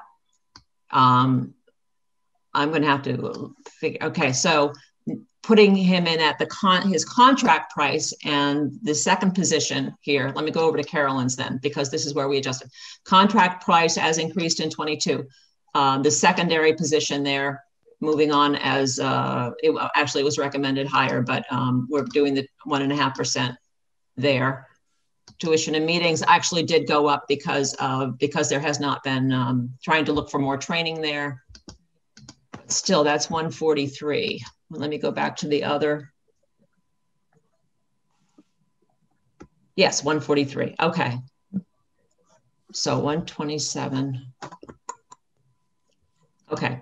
So this is what Carolyn has recommended, and that is on the town administrator budget. The 127 was for the salaries. Okay, that's what I'm getting confused at. So the 127 was just on, showing those top two lines. Equals that plus that is is 127, but for the 21 equals that plus that. That's the 109, okay? Okay, all right. Sorry. I added those two for the 109. We added those two for the 127. Okay. All right. That makes more sense. Sorry to Okay. make that, but I just Okay, good, good question. You had me stumped there, but Can you on this same page show us the um, finance committee's line? Just slide it their over. reserve, No, just slide over so I can see column beyond J. oh, it's not on that one. Uh, It's a, it's a different format. Okay. Um, this was the, the original one from what, which we, were- we just had two, was, there were so many columns, but I can, I can go back to the other one. So keep in mind the one forty-three, nine one nine, stop share, share again, go back over here. Okay, so there's the one forty-three, nine one nine. And with the salary amounts being the 109 that we just looked at and the 127 we looked at. And all right, and then now I'll slide this one over. And they took the salary, they took the 20,000 out of the salary line, which is ends up being fairly close to what it was the year before. But there were three different things happening this year: a full-time, a part-time contract. So if you add 20,000 into that where your cursor currently is, you're The finance, yeah. exactly the same as the town administrator. It will be, yeah, that's right. They're exactly So- 20,000. So the differences come in the reserve fund and in the OPEB funding. The biggest difference is, yes, there's 15,000 difference out of the reserve fund. And the very biggest difference is the OPEB. And which the difference there is 277 minus the 16. So it's about 70, it's $260,000 difference. Now we did talk about that. That's possible that we can revisit that at fall town meeting and see if we have, uh, see how our revenues are doing. And uh, also see how our free cash has turned out. We're improving free cash in a number of ways. Uh, one is uh, this the sweeping of the revolving funds. That was one of your earlier articles. Um, there's going to be probably at least 50,000 that we're going to acquire out of that. We have rollbacks. and We have the amount that the school said that they would be returning. So there's the 375, and we have um, departmental budgets of at least 100, and then the um, 100, uh, another 50 in the revolving funds coming back. And if I go back to the top, that's what I those rollbacks and the school amount. Those are what I was calling before anticipated free cash. But you see now, um, and I sent you that number on the ARPA replacement funds that we can use. We're not even using the anticip- anticipated free cash. So when we get to fall town meeting, based on funding the budget in this way, we're going to have all those still items, those items still available. So we're going to have the schools 375. We're going to have the or 350. I don't want to say it wrong. It's it, it is whatever they said it was, and other rollbacks and the 50 from the revolving fund. And hopefully we're going to have increases in our own revenues. So we'll have that information. We'll have a new certified free cash as of July 1. We should have the funds to pay the stabilization fund back, and maybe we'll have money to uh, either from free cash, but better still from increased revenues to be able to put that back into OPEB. Because we need, we also, we have to do, get OPEB back up and stabilization, which we said we would last fall when we mm -hmm. used it to fund the mm -hmm. reduction. Yeah. And you can do it all at once, or you can phase them in over the two years, the way you're trying to phase some other things, because the our um, downturn lasted a little longer, a little longer than was anticipated. But um, that's that's that'll be your judgment and one that you won't really be able to make until the fall because none of those funds, the anticipated free cash, are going to be available for this town meeting. They have to be certified first. Linda, you still have that two two hundred eighty thousand in the enterprise fund for wastewater. Is that number correct now? It looks like it. You just keep carrying it over. So.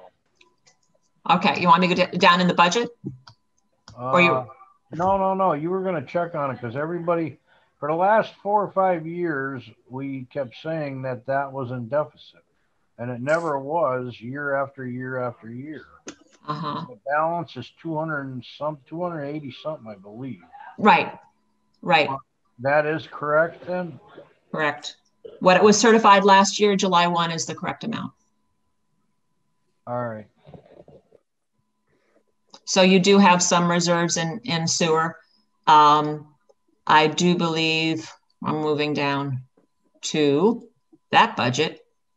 If you want to, but um, so you may have a deficit at the end of this year, uh, which would be covered by the reserves, or you may not. Um, the last round of bills, I think Susan said they went out a little higher than were expected. So, you know, we'll we'll see. They did they went about uh, I want to say 30 grand higher than than what we anticipated. Yeah.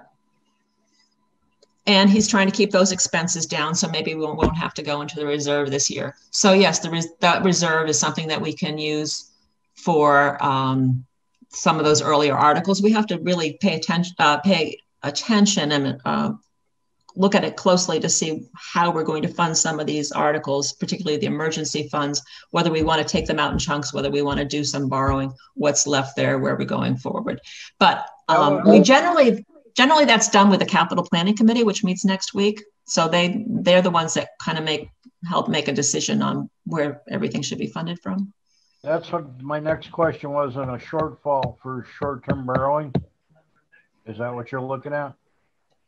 Um, I was actually I was looking at what I was talking about was your budget, your operating budget shortfall this year. I don't think you do you have a shortfall.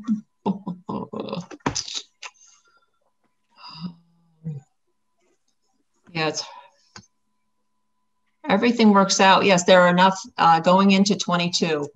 I'm into 22. We have we have enough reserves for all of the funds to for in all the reserves to cover any shortfall in the budget so they can fund those budgets. All right, so I've got a question for Linda and Amy uh, Fiden both. Uh, and this is actually from a resident.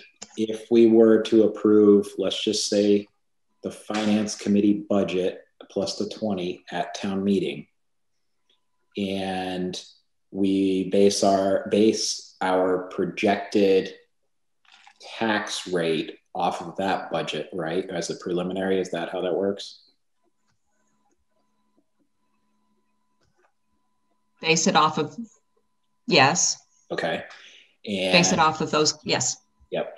And then, so if things recover like they seem to be on this track of recovery, and we end up bringing in quite a bit more revenue just in, you know, rooms tax, meals tax, whatever else. Yeah. Uh, the possibility exists at special town meeting in the fall to basically fix the tax rate or or or um, I guess, make some changes to the budget. So maybe the tax rate doesn't actually have to go up that 4%, right? Depending on what revenues do and what, how things go in the town. Is that the best way to describe that? That, that's actually true. That's actually true because what we're saying here is a raise and appropriate all the revenues are going to need to be 16 million 725 632 and if we have higher local receipts maybe we don't need as much in the in, in the taxes.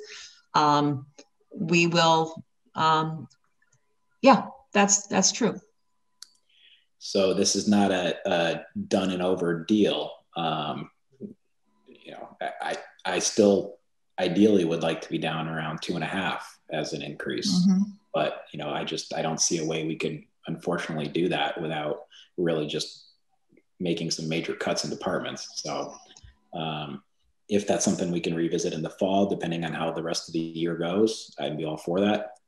Um, I would like to see a, you know, see that increase at the end of the year actually be around the two and a half rather than the four that we're talking about. What what you're voting on right now is simply raise and appropriate encompasses everything on the recap except for free cash or enterprise fund. So if it's raised and appropriate and page three revenues come in $400,000 higher, you could say we want to use that $400,000 on page three of increased local receipts and it would reduce the tax levy. The only change that you would have to make at fall town meeting is any ARPA funding would have to be specified. It would have to be directly voted out of that, same as if it was a free cash article or stabilization. But Dan, we can't adjust the tax rate twice a year. Is isn't that correct? Uh, the tax rate won't be set until fall, until after fall town meeting. Okay. All right. I, I thought we had to set it for the spring town meeting, uh, but this will be for after town. Um, it will be in the fall town meeting.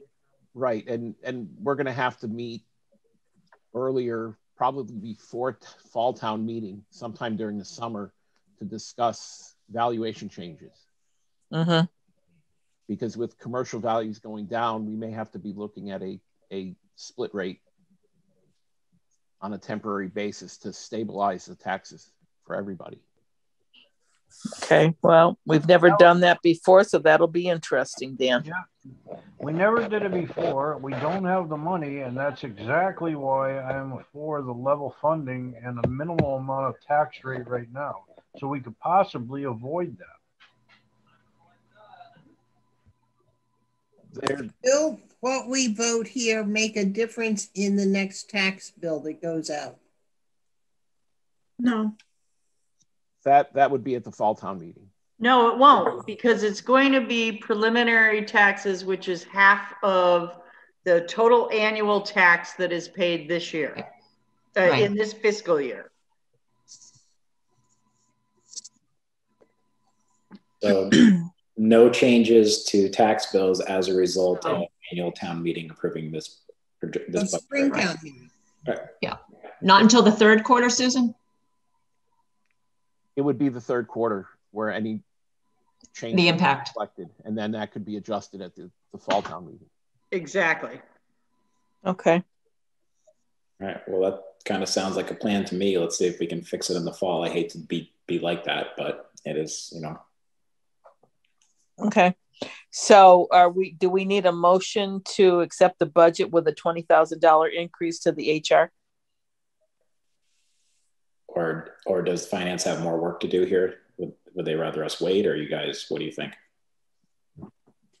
No, I would go ahead. I don't I don't think that um, our plan isn't to um, go over it again. So I mean we we let's do it. We put it towards the select board for recommendations.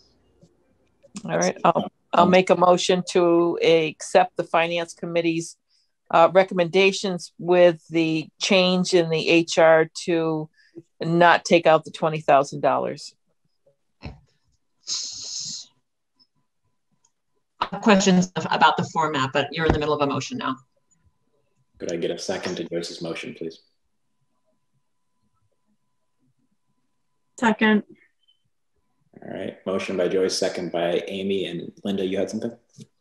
Um, yes, about how you what you want to go at town meeting. I'm very comfortable with this. This format has worked for us, and I think this last year we even added in the uh, we've added in this revenue section, which is more, and I I think hopefully gives people better information.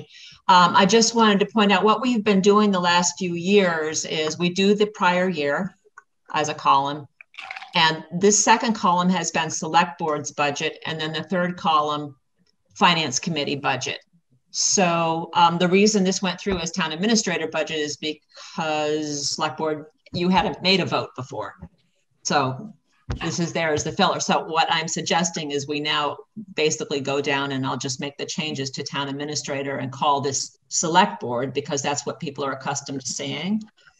Um, and, and leave it there and then I guess the question is for, for finance committee, we'll leave that as you have it. And are you, is finance committee still going to put forward the budget as recommended?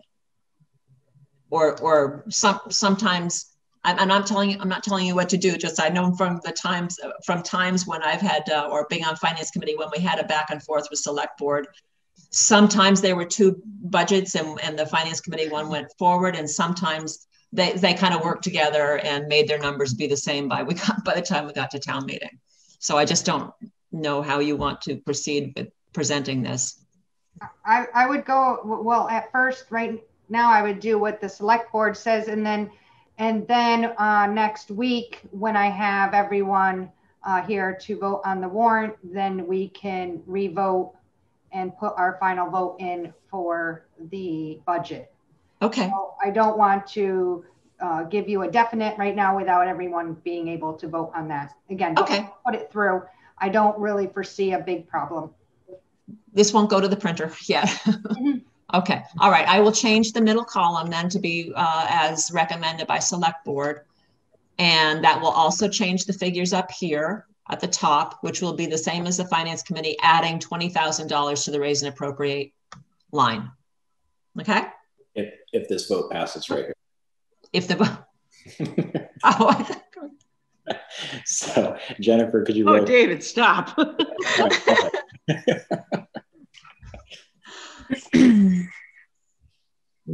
Are we ready? I think so. Okay. And the, the motion, to be clear, was to accept the FinCom budget with changes in the HR budget as addition of $20,000. Correct. Okay. Roll call vote. Fill? Yes. Nevinsmith? No. Chunglo? Yes. Waskiewicz? No. And Parsons? The swing vote. Yes. Thank you. And we're going to ask y'all to pause for just a second. Carolyn's computer, um, for some reason, the volume has just gone out on her. So can y'all give her just a moment to get us to get back with us? Okay. She can't hear you though, because my computer is really loud and we're next door to each other. Linda, can I get a, a hard copy of that when you get it all figured out? I, I, will send everyone a new one tomorrow. That's why I always put this date at the top. Yeah. So I'll make it May 6th. I'm going to make it, I'll, I'll, fix it tomorrow and then get it out to, tomorrow. Yeah, can I, can I just get a hard copy? I'll pick it up sometime. Absolutely. All right. Thanks.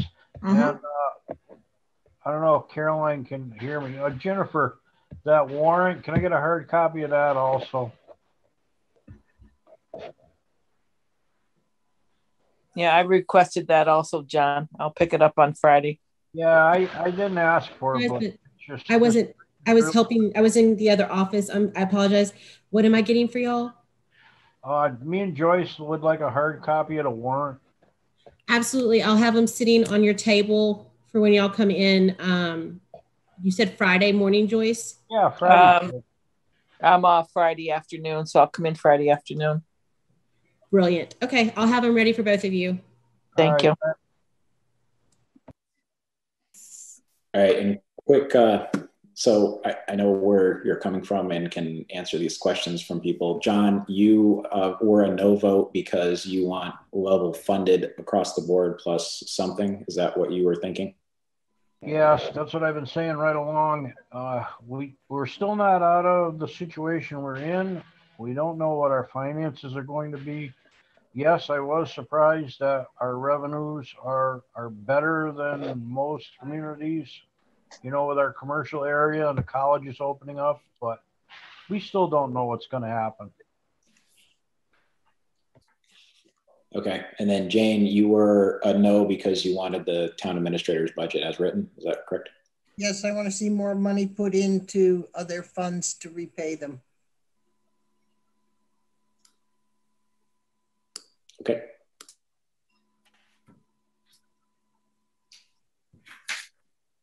Carolyn, are you back with us or are you?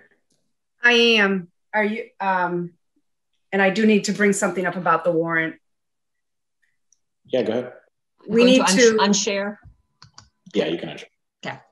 So I we went much further ahead than I anticipated. You guys voted on the warrant, on articles on the warrant, and um, the budget. But the the two conservation art, articles for uh, uh, for the APRs were given to me after you guys had closed the warrant. So I need you to open it, vote on those two, and then close it for me, please. Does that make sense? You mean open the warrant? So. Second. Okay, motion by John, second by Jane. Jennifer? Uh, roll call vote. Fill, Yes. Nevinsmith, Yes. Chunglo, Yes. Waskiewicz, Yes. Parsons. Yes. Thank you.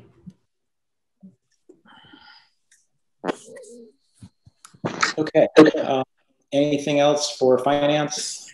Oh, Jennifer? You're not done. Add the two articles and then close the warrant. Oh, I do two So it's Sorry. Article Grelinski and Handrich. So moved. APR. That was what Articles 23 and 24. Correct. Motion by Joyce, second by John. Jennifer? Sorry, I'm trying to do the minutes too. Um, roll call vote. Fill, Yes. Nevinsmith, Yes.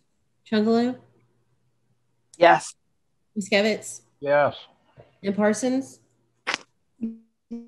Yes. Okay, and now close it, please. Motion to close the warrant. Second. All right. Motion by Joyce, second by Jane. Jennifer? Roll call vote. Fill, Yes. Nevinsmith, Yes. Chunglo, Yes. Waskiewicz, Yes. and Parsons.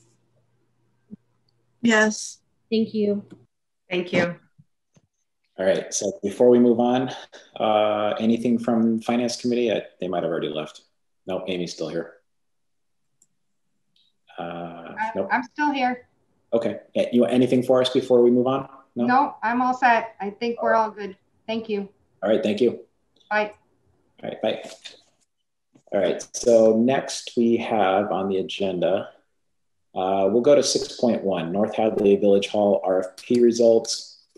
Um, first, I want to preface this conversation by saying we are posted for an executive session regarding North Hadley Village Hall litigation, but uh, I will say that uh, uh, the judge in Hampshire Superior Court denied the plaintiff's motion for a preliminary injunction against the town of Hadley to stop us from selling or from awarding this contract for the sale of North Hadley Village Hall.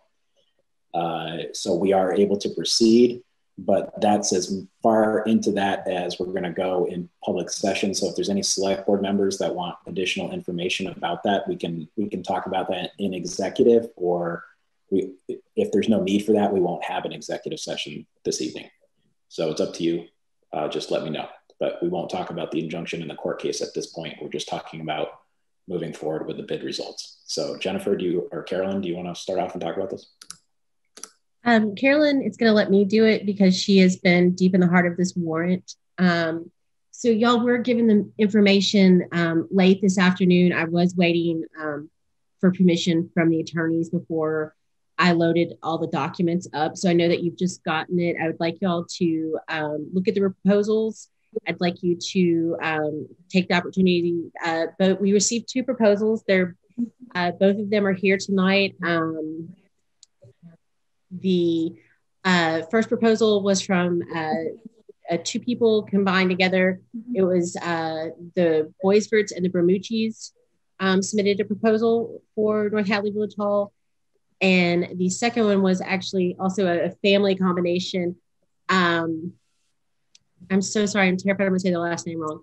Um, Beaudry. Their last name is Beaudry, the Beaudrys. And um, they are all here tonight. So I know y'all haven't had a lot of time to look over the proposals, but I'd like you to review them tonight, ask any questions you have, and maybe take this back up for a vote um, next week. Um, but the proposals are here. They both have um, very good proposals that look like they would be to the benefit of the town. But that's for y'all to make the final decision with the reviewing. Yeah, uh, I, I have enough information to vote on it tonight, but um, that's okay. up to the rest rather than kick it to next week. Um, I have enough information for tonight also. I'd like to move ahead. This this little monkey has been on my back for long enough. Um, so between burning the building down, the mountain burning, and I'm so happy that somebody has decided that they can do something with this. Um, so I am going to make a motion that we award the contract and uh, sale of the North Village Hall to uh, Boisvert and Bermucci at this time.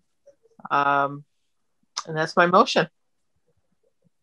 I'll second it because that is the highest bid. I have I have had a chance to go through them and look at both proposals. So I have looked at both, and um, I think it's fair and equitable. I think extremely both parties for coming out and putting bids on this property and hoping to sustain the um, village of North Hadley, as I'm sure that they will. Um, so I was ready to and prepared to make that motion tonight. All right. So motion by Joyce, second by John, and uh, any further discussion on this before we vote? Anybody want to ask the bidders any questions? Anything along those lines? They are all here. Oh, the, the public space was the big issue, and I think that both parties explained it pretty well of what they were going to do with the public space, the ball field itself. So I'm pretty comfortable with it. I wasn't a real big fan of the community gardens since we live in the middle of farm country and pretty much our whole town is a community garden. So uh, unlike you know living in Manhattan where we need a community garden. I think pretty much every yard in town has garden space. So that was my only only thing. But uh, yeah, based on just the the bid price alone, uh, you know, I'll support the motion. So any anybody have any questions? No. Right. Do, do sellers have anything they want to say? Uh, sorry, Joyce, I, I didn't hear what you said. I said, do the sellers have anything that they would like to say? We are the sellers. Yeah, you're selling it. Sellers, you mean the buyers? Oh, the buyers. I'm the seller. Well, boy, have I gone over the edge tonight. It's a long day. So, do the buyers have anything that they would like to say to us? Uh, Bermucci's, uh, Boisverts, if you're here, do you want to say anything?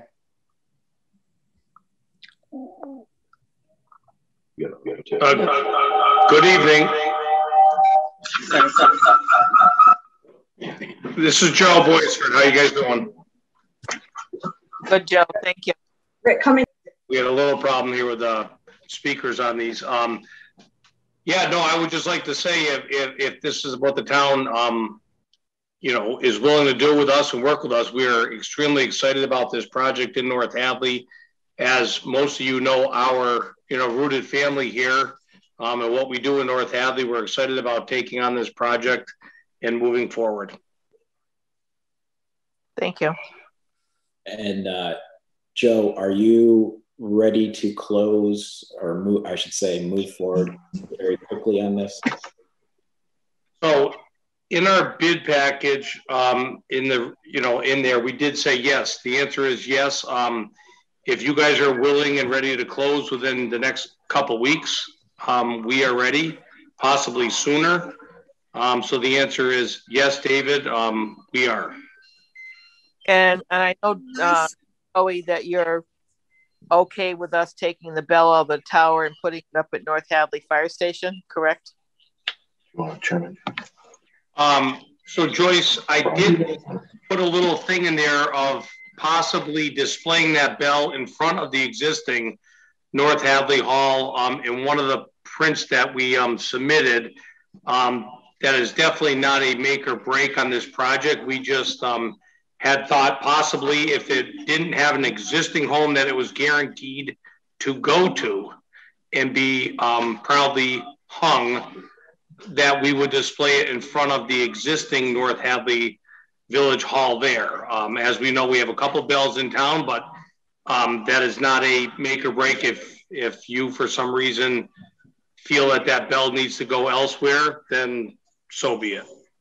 Um, personally, Joe, um, you know how I feel about the fire department, and I would love that bell to be up at our new uh, fire station. I think you know it's near and dear to my heart that we continue the uh, the what our fire station is, and I think it started in North Hadley, and I would like that bell to be a part of our North Hadley fire station.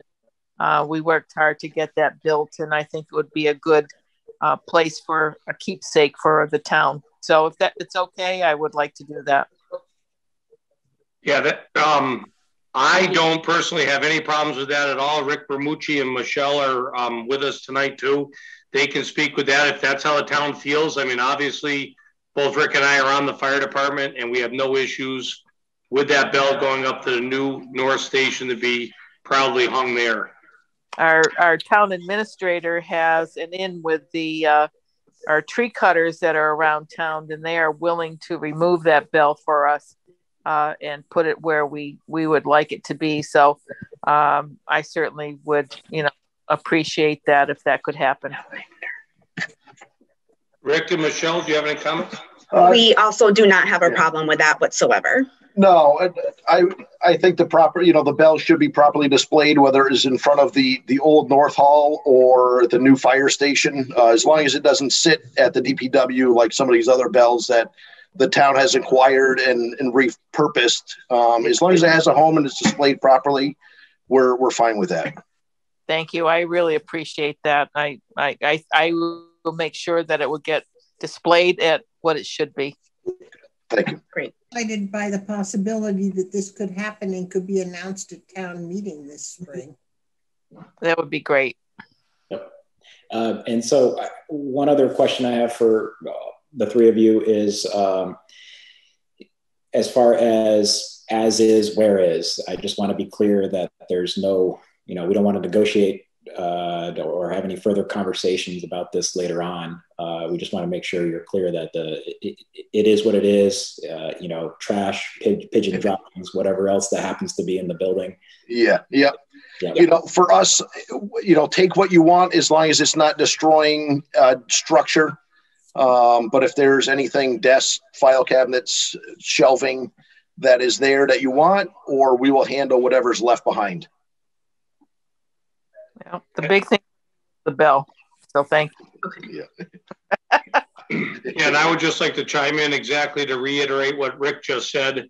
Um, absolutely, um, whatever belongs to the town and whatever the town would like to take, please do. Um, what you don't want, leave behind and let's all as a community move forward and uh, make this place, you know what I'm saying, what, what it used to be um, back again. Thank you. You know, you could actually make me cry tonight. Please don't. no, because this has been, you know, a really a long journey um, for this building. Um, from me wanting to take it down totally Yep. Um, but I finally found that people in North Hadley that really appreciate it want to do something that will make it good for the town. And I thank you for that. Exactly. Thank you. Well, thank all of you guys too. So uh, any other comments before we vote on the motion on the table? Looks like Mr. Boudreau is here. I don't know. Yes, I am. How are you? Good. thank you for the opportunity. Love the building. Love. Um, I'm, I'm happy to see that it's going to be uh, restored to what it should be. And we thank you for putting in a bid. Um, I, I, know that you would have done well for us also, but uh, I, I, think whoever would have gotten this, um, I appreciate that you even considered it. So thank you very much. Nope. Thanks for the opportunity. Really appreciate it. Thank you. Okay. All right, Jennifer, roll call. Can, can I ask a quick question? This is Teresa Barger. I would love to know what they proposed against what we proposed. So uh, is there any way that you can just give us a brief outline of what the plan is for the building? Um, a brief. I, I can run it down real quick for you and Joe and Michelle and Shelly and Rick can all jump in. Uh, they were proposing um, storing, I believe Mr. Bermucci owns a construction company, and they're going to store his vehicles in the garage and then put in a small office for his business. And then they would have apartments on the other portions of the building. They were hoping to put in apartments, if I understand correctly. And they were leaving the town property open for the townspeople to use for parking, picnics, and such like that. And if y'all, if I have missed something, please jump in. I think you summed it up perfectly. Yeah, no. And I, I will also say that both proposals are loaded onto board docs and they're all completely viewable by the public. Thank and you. I'm happy to email that link to you. Thank you very much. Thank you again. Thank you. Thank, thank you also. Yeah, and the big, the big, the big part of my decision was the ten thousand dollars with the financial situation we're in right now. So all right. Jennifer, can you roll call it, please? I'm ready. Roll call vote. Fill? Yes. Nevinsmith? Yes. Waskiewicz? Yes. Parsons? Yes. And Chunglo? Yes, with a hallelujah. I had a feeling you had something on the end. Thank you. Right. Thank you so much. Thank you. Thank you. Thank you, everybody. We look forward to moving forward with you. Thank, Thank you, you so much. Thank you. We will work with you also. And let's get Great. it wrapped Thank up you. quick. All right. Um, moving on here. Uh, Chief, what are you hanging out for? Chief Mason or, and Chief Spanknebel, are you guys waiting on uh, Aqua Vitae? Anything else that we so we can get you out of here? Uh, I was just asked to be here for any questions on the Aqua Vitae thing. All right, so let's hit that real quick so you can get out of here. Uh, 6.3 Aqua Vitae Road speed limit and stop sign request. Um, I asked this be put on the agenda because uh, many residents from Aqua Vitae were uh, upset about the cut through speed on the paved portion over there. Um, I guess right now there are no speed limit signs whatsoever on Aqua Vitae Road.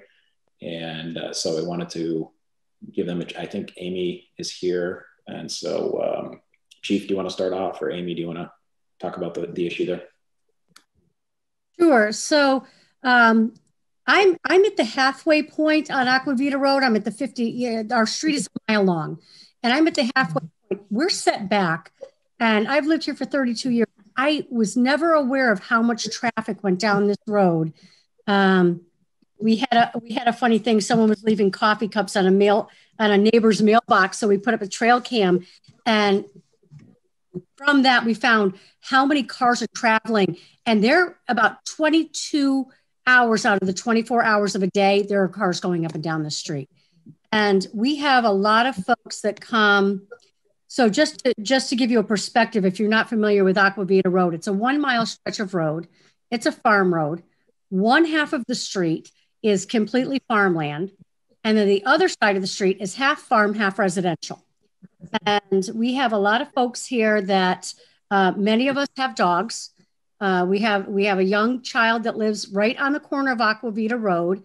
Um, so we're very active on our street, walking our dogs, riding our bikes. But we also have other folks that come down here as well. We have a lot of people that come down from Bay Road to right to jog, walk. Um, there, we have a lot of bird watchers. There's, a, there's an exorbitant amount of traffic on this street. And I don't think people are aware of that. And it's very similar to North Lane, where people, there's a group of people that are using this as a cut through to avoid Route 9. And those are the folks that are not very respectful of our neighborhood. Um, I've had in two instances in the last three weeks where someone has come barreling down from the dirt end from Bay Road toward Aqua Vitae and have nearly run me and my dog off the road. And if you ask them to slow down, they flip you off, they swear at you. So, um, as a collective, we've been talking for some time of what can we do to still have that quality of life on our street and allow people to come down and enjoy it as a sanctuary, but to reduce the hazards that are coming through. And part of the issue is that our street isn't marked because it's a farm road. We do have stop signs. We have two massive stop signs down at Route 9, and we have a stop sign down at Bay Road at the inlet. Um, but we don't have any speed limit marked here. And people tend to, the people that are cutting through, not the people that are coming to enjoy it as a sanctuary, are coming at excessive speeds. And we've had the several residents on the street have experienced hazards due to that. So we've been trying to come together as a collective and figure out what can we do? And then when the whole North Lane came up um, in my head, I said it's very similar. Uh, people are being rerouted down our street. They're being told it's a cut through. They take this as a side, you know, take it as a side street. And we'd really like to, some help from the town to decrease that cut through, to eliminate the speed on our street, and to make it safe for the residents to live here and the people that come off the side streets that come here to enjoy it.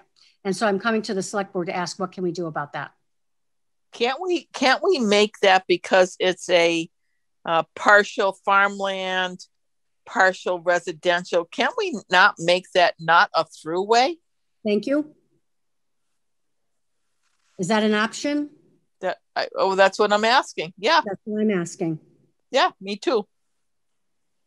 Um, as far as not making it a throughway, I don't know what the select board's uh, authority would be to do something like that. Uh, we could probably reach out to Pioneer Valley Planning Commission and ask. Um, I don't know that you would have the authority to um, to kind of shut. We, we went through something similar with Rocky Hill when uh, some of the residents wanted to try to uh, limit the amount of commercial vehicle traffic on Rocky Hill, and Pioneer Valley Planning Commission advised us that there's there's definitely some no pun intended, some road, roadblocks in the way uh, to do do things like that.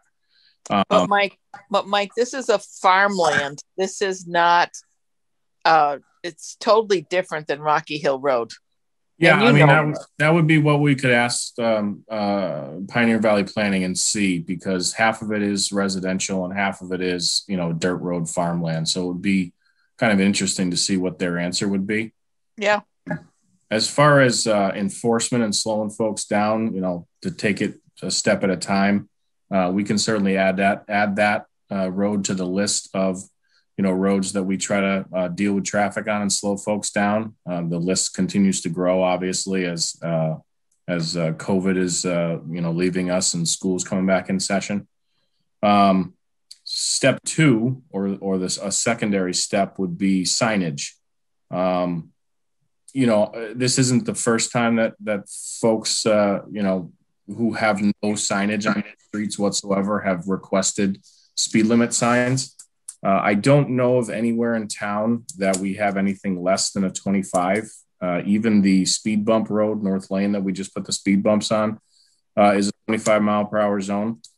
Um, one thing that the select board does have the authority to do as the um, traffic commissioners is under uh, under Chapter 90, uh, Section 17. The Select Board does have the authority to make a town-wide speed limit. Um, the authority only grants you to go as low as 25 miles per hour. As a matter of fact, the MGL specifically says 25 miles per hour.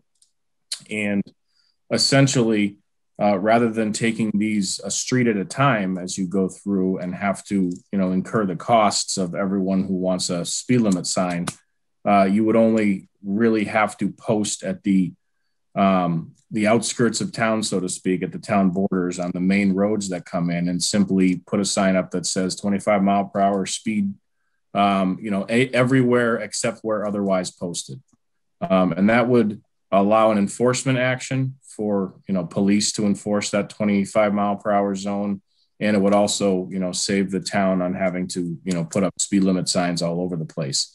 I know it doesn't necessarily solve the problem uh, of notifying drivers uh, on each street but by the way the mgl is written when you post those signs at the um, town borders that's your that's your sign uh, the way that they look at it so as far as the enforcement goes, we can certainly help um, with that and, and get that on our list. But the, the signage, um, the select board has a couple of options, and th- those are them. You can put up speed limit signs on Aqua Vitae. Um, that's something that uh, uh, Chris Okafor can take care of for you, or you can um, look to to do a town-wide speed limit. So is that as enforceable for your officers as having signs on the street? Exact same. Yes. Can we look first into making it a non-throughway for Yeah. traffic? yeah. When we when we uh, when we researched the Rocky Hill part, David Nixon was still here, and David has uh, had some contacts over at Pioneer Valley Planning, um, and it was real quick uh, back and forth uh, between he and they. Um, I don't know if, if Carolyn, um, I, I'm fairly certain that the questions would have to come from the town administrator as opposed to other departments, but I can work with Carolyn on, on crafting that and we can see what they say. Uh, I can't give And any I- answer. I don't yeah, and I only think of that, Mike, because lots of times that roadway is flooded, especially in the spring. So it's really not a throughway at that time unless we put up horseshoes or something like that. The uh, you know the stationary things that block off the roadways, um, so people can't go down there. But um, certainly, I think at this point we could make it not a throughway. I don't think people should be cutting down there to cut over to Bay Road. I think that's you know uh, it, it, it hinders the farming apparatuses and different things like that that are down there early in the morning or late afternoon. Um, but can we ex- at least explore that first and then head towards the signs and things like that or signage? But you know, really isn't isn't good for people. It's okay when they come off the bridge and turn that way, and I don't see them doing it that often. I do see people cut, trying to come out of there onto Route 9 and try to cut across the road to go over the bridge to, to like Northampton area. So that's a dangerous um, uh, roadway to even come out of and try to cross over onto Route, Route 9, don't you think? Yeah, that and 400 other places. Yeah. I mean, you want to go Oh, down. you're so cute. You don't have enough time tonight, Joyce.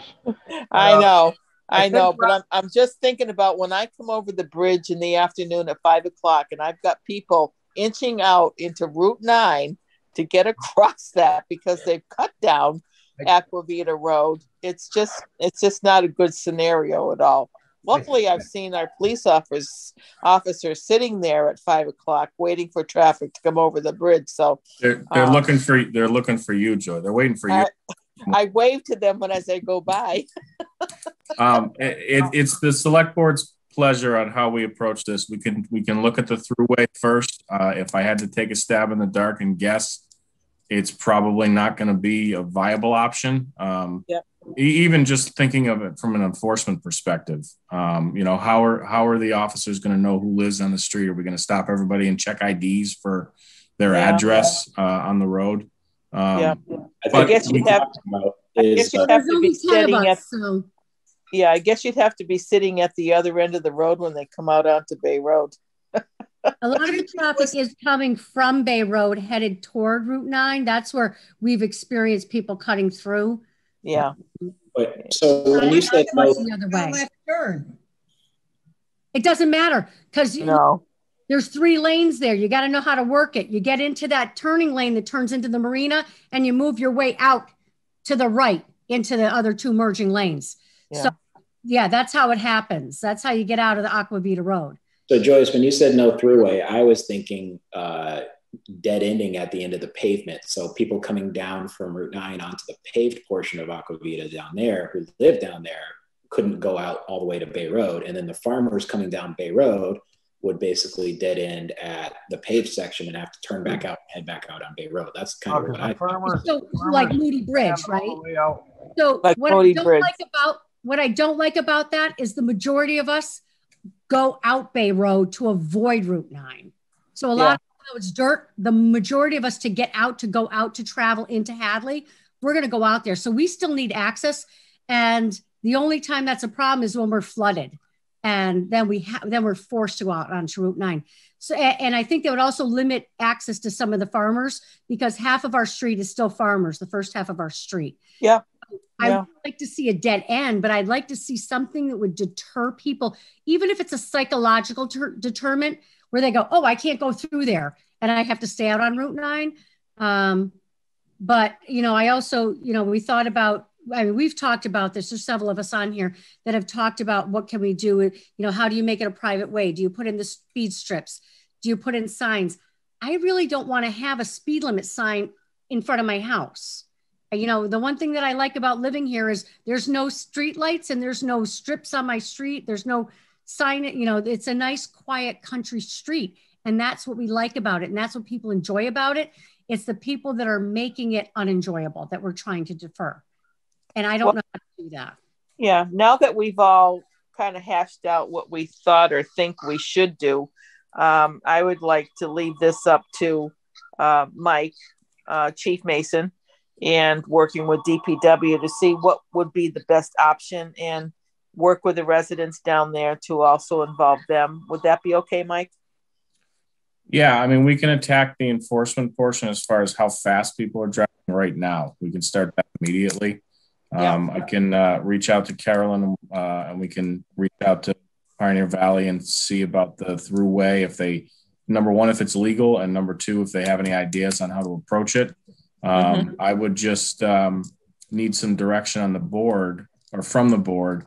Uh, Chris Okafor technically would need more of the direction than me as to uh, whether or not you want to um, you want to engage um, in the speed limit uh, sign discussion now, or if the uh, if the throughway part you want to wait until that fails and then bring it back before the board. So I. I, I think I would like to see you explore the non-throughway, but I don't think you need to bring it back to us. I think between you and uh, Chris Okafor, you can work it out to feel what's best for our residents and what we need to do for that roadway. I'm, I'm going to leave it up to you, you, you people that deal with this all the time. What's best for your department? No, you're gonna give me But there's couple currently in here, Joyce, There's no what? speed limit. Am I going to what, John? Uh, can I get a couple words in here? Sure, go for it. board's decision. I think first of all, we need to check on chapter ninety, as Mike said. It could affect some of our chapter ninety money as Rocky Hill Road did when they went through at that time. I think a town-wide speed limit may affect our, uh, chapter ninety funds and other road work. We we really need to research this a little bit more than on a town-wide speed limit. I- I'd be for 25 or 30 miles an hour on Aqua Vitae Road right now for those people, but Yeah. 30 miles an hour is extreme. It's extreme. So um, really, really simply, Down here, 30 miles an hour is way too fast to be driving So- down the street. really simply, it's the board's, this, the board is the one that has the authority on this. I don't have the authority. I can do the research for you and we can send you the information, but the board has to be the ones to decide as far as the speed limit goes. If you want a 20 mile an hour zone in there, then you can vote that through and put it up. You have the authority to do it. We don't have any other 20 mile an hour zones in town. Um, I would, uh, like I said, that's why I recommended the the MGL one because you have 25, um, and that's that's what the the law allows you to do. So then let's do this. If uh, unless someone to throw up a 25 tonight, uh, why don't we do some research and find out what's going on? If we cannot make it a no throughway street, then what we'll do is we'll post a hearing at our next uh, select board meeting so members of the public can come and comment and we can then decide whether we want to make townwide speed limit 25 or 35 right. 30 or whatever it needs to be yeah. that way we have some input and we're not just picking a number um, and, and, you know we, we, we just need some research unfortunately because we don't want to affect our road road funding by doing the wrong thing mm.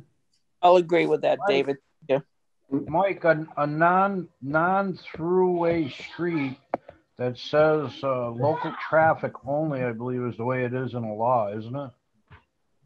Yeah, I mean, non. That's what I usually see when I see non-throughway streets. But uh, I, I just, I don't know, uh, I don't know the mechanism forcing something like that. I don't know what kind of help it's going to give.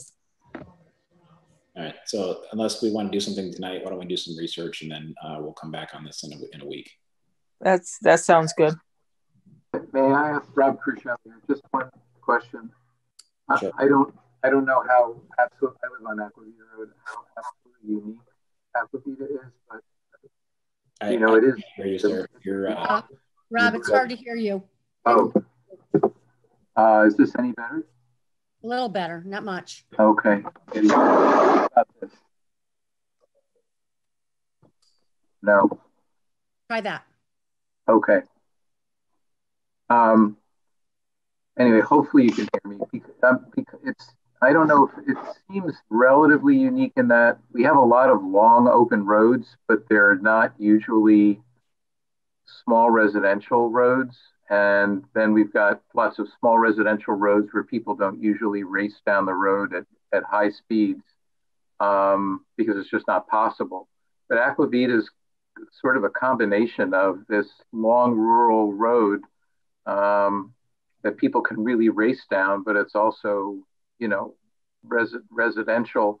And I'm just wondering, is there a way to, uh, would there be any benefit, and you guys would know, not me, you all would know, to um, sort of measuring? I know there's sort of things you can lay on the road to see how high the volume of traffic is and at what speed to, to sort of quantify what kind of a problem we're dealing with? I mean, you know, if we might look at it differently, if there was a large volume of people racing down at 45 miles an hour, or you know, it's not really happening. I mean, we have this all have a strong sense that it is a big issue. But anyway, I'm just wondering if there's any benefit to that. Certainly, we actually we have uh, we have a couple of speed signs that are actually doing a, a speed study right now. Um, we can move them up there uh, and uh, grab some numbers. It, it, may delay, you know, getting this back in front of the board if we want to get have some actual data. So maybe we can aim for, you know, a couple of weeks from now, and we'll grab some data and then and then reassess. In the meantime, uh, as soon as we get the signs up there, in the meantime, I'll get the other things that we that we talked about.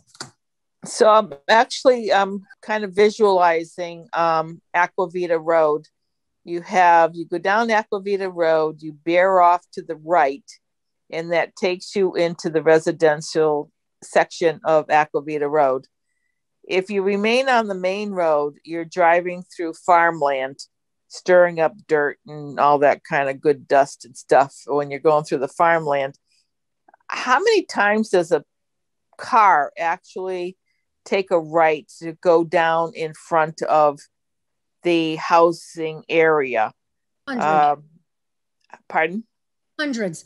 And I'll tell you, and this was my, I said this in the beginning. We had a friend that um, at they're only here temporary. We have several homes here that folks are only here either homes are vacant or they're temporary. So there's right. and so they're summer homes kind of thing. And this coffee kept kept showing up. So my husband put a trail cam up just to see who was leaving the coffee cup. And like I said, we're set back so I don't see the traffic all the time. Our, our other neighbors are right on the edge of the road. And I was amazed when my husband pulled the trail cam chip out of that camera from, from four o'clock in the morning and, until two o'clock the next day. It was hundreds and hundreds of cars that went down the street. I've lived here for 30 years. I had no idea how many cars go down this street. And so, um, so let's look at this in another direction. So you go right or you go left. You go left, you go all the way out to Bay Road, correct? Yes. So so if people are taking a right, And going down in front of the houses that are down there, the big question is why? Is it would it be more simpler to say not a throughway to where the houses are? And Mike, you might be able to help me on that with instead of um, doing the direction of going through the left side of Aqua Vitae, which would take you out to Bay Road, on why people are going down the right side of Aqua Vitae in front of the residential homes. They go both. Yeah. There's a there's a significant amount of traffic that comes from Bay Road go, going toward Route Nine, and those are usually the most highly offenders because they come barreling. They're down in the farm field, and they think they can just is there's no speed limit, and they can go 45 down there, and then they hit the tar, and then um, you know, and then it's a matter of whether they slow down or not. Um, but regardless, we have a lot of people that walk our street a lot of dog walkers, uh, an exorbitant amount of bird watchers. But and you're on, but you're on the right side of the Aqua Vitae Road. coming from Northampton, going yep. Dudley, all the houses are on the right side. Correct. We all walk the street. We all have kids that are riding bikes, walking right. dogs, watching birds, people coming off a Bay Road that are using yep. as, a, as a sanctuary street. And then we have people that are barreling through here and have total but coming but coming down the left side of the road not the, the the majority come from the left side. They're coming from hadley going into northampton area. Okay. The, so the those those cars those cars are not going around and coming down in front of the houses. They're coming down straight through the fields correct well the houses are on the fields so if you well the, road, the houses the houses you're separated by a good portion of a field in front of your house. Yes, but they're coming from Bay Road going to Route 9. But they are not actually going down. They have to our houses. But they're not going by the houses. They have to. Yeah. It's a one mile strip of land. Yep. The houses take up one half mile on one side of the road. If you come down our road, there's only one inlet and one outlet whether no matter which way you come in and out. It, once you come in, you're committed. So they're coming by the house, they're coming down through the fields, and then they're hitting the tar where the house, the tar, the house, most of the houses are on tar. Some of them are not. Some of them are campers. But regardless, three quarters of one side of our road are people that are living here permanently or temporarily. It's their property. And when we go out into the street and try to enjoy the area. We have other people that are, let me tell you, the crew team, the crew teams were the one of uh, huge offenders. Um, and somebody called in on the crew teams and somebody had a conversation with them. Now, last year, due to COVID, we didn't have the crew team buses coming down here. But the year before, 430, they're flying down here and the dust, I can't tell you, the dust is flowing into my house and they're going so fast. And um, there's, we're not marked. There's no speed limit. So right. they just I gotta I gotta cut this off here because we gotta we gotta keep moving here, but we have an agenda. Yep. Okay. We'll do the research and uh, we'll get some some data on speed from the speed carts, and then we'll revisit it. Uh, don't worry, we won't forget about you, but we're not going to fix it tonight. So yeah. I, I, unfortunately, got to keep going. Hey, Mike, you, Mike, you can count on those trailers and get the speeds. yeah.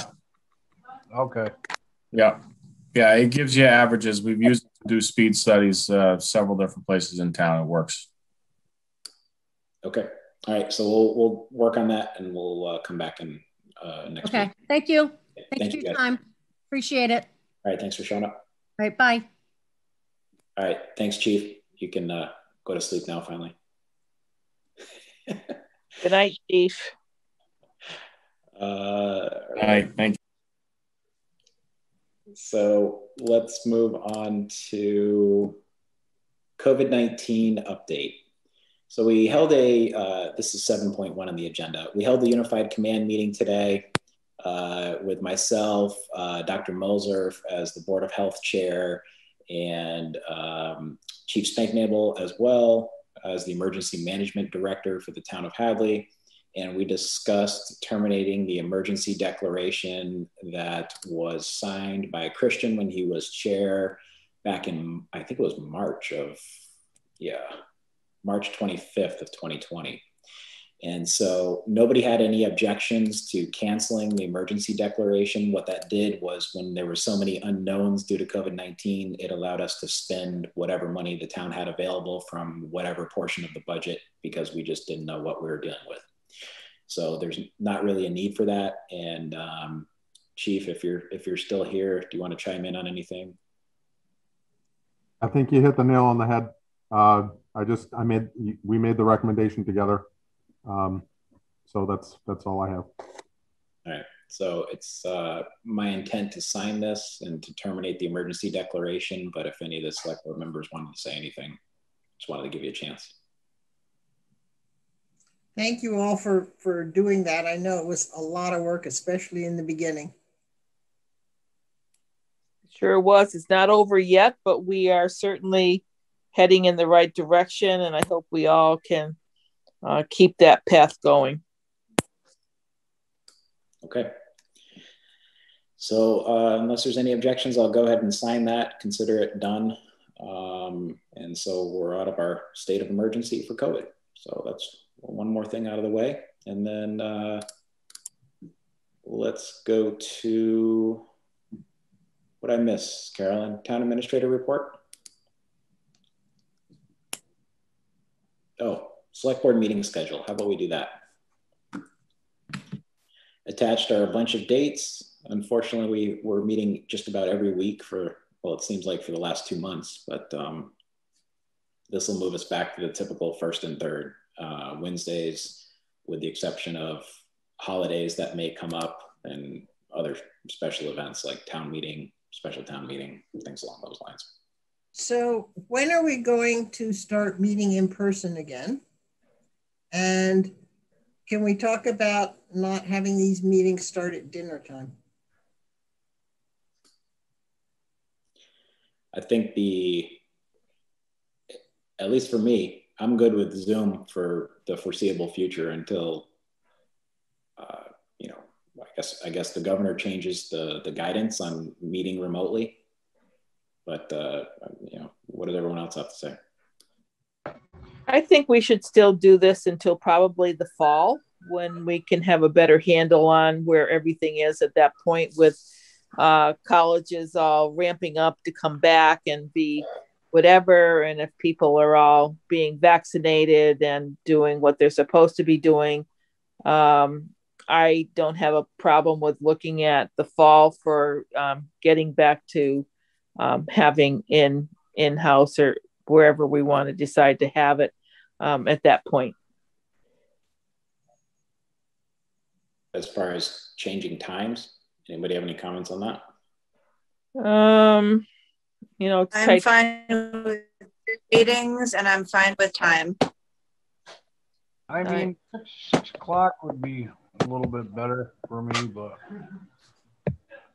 it's all right. Yeah, six o'clock might work better for me because I'm really scurrying to get over the bridge. Uh, I get out of work at five o'clock, and you know it's a mad dash. Um, especially if we get back. Way, Say that, John.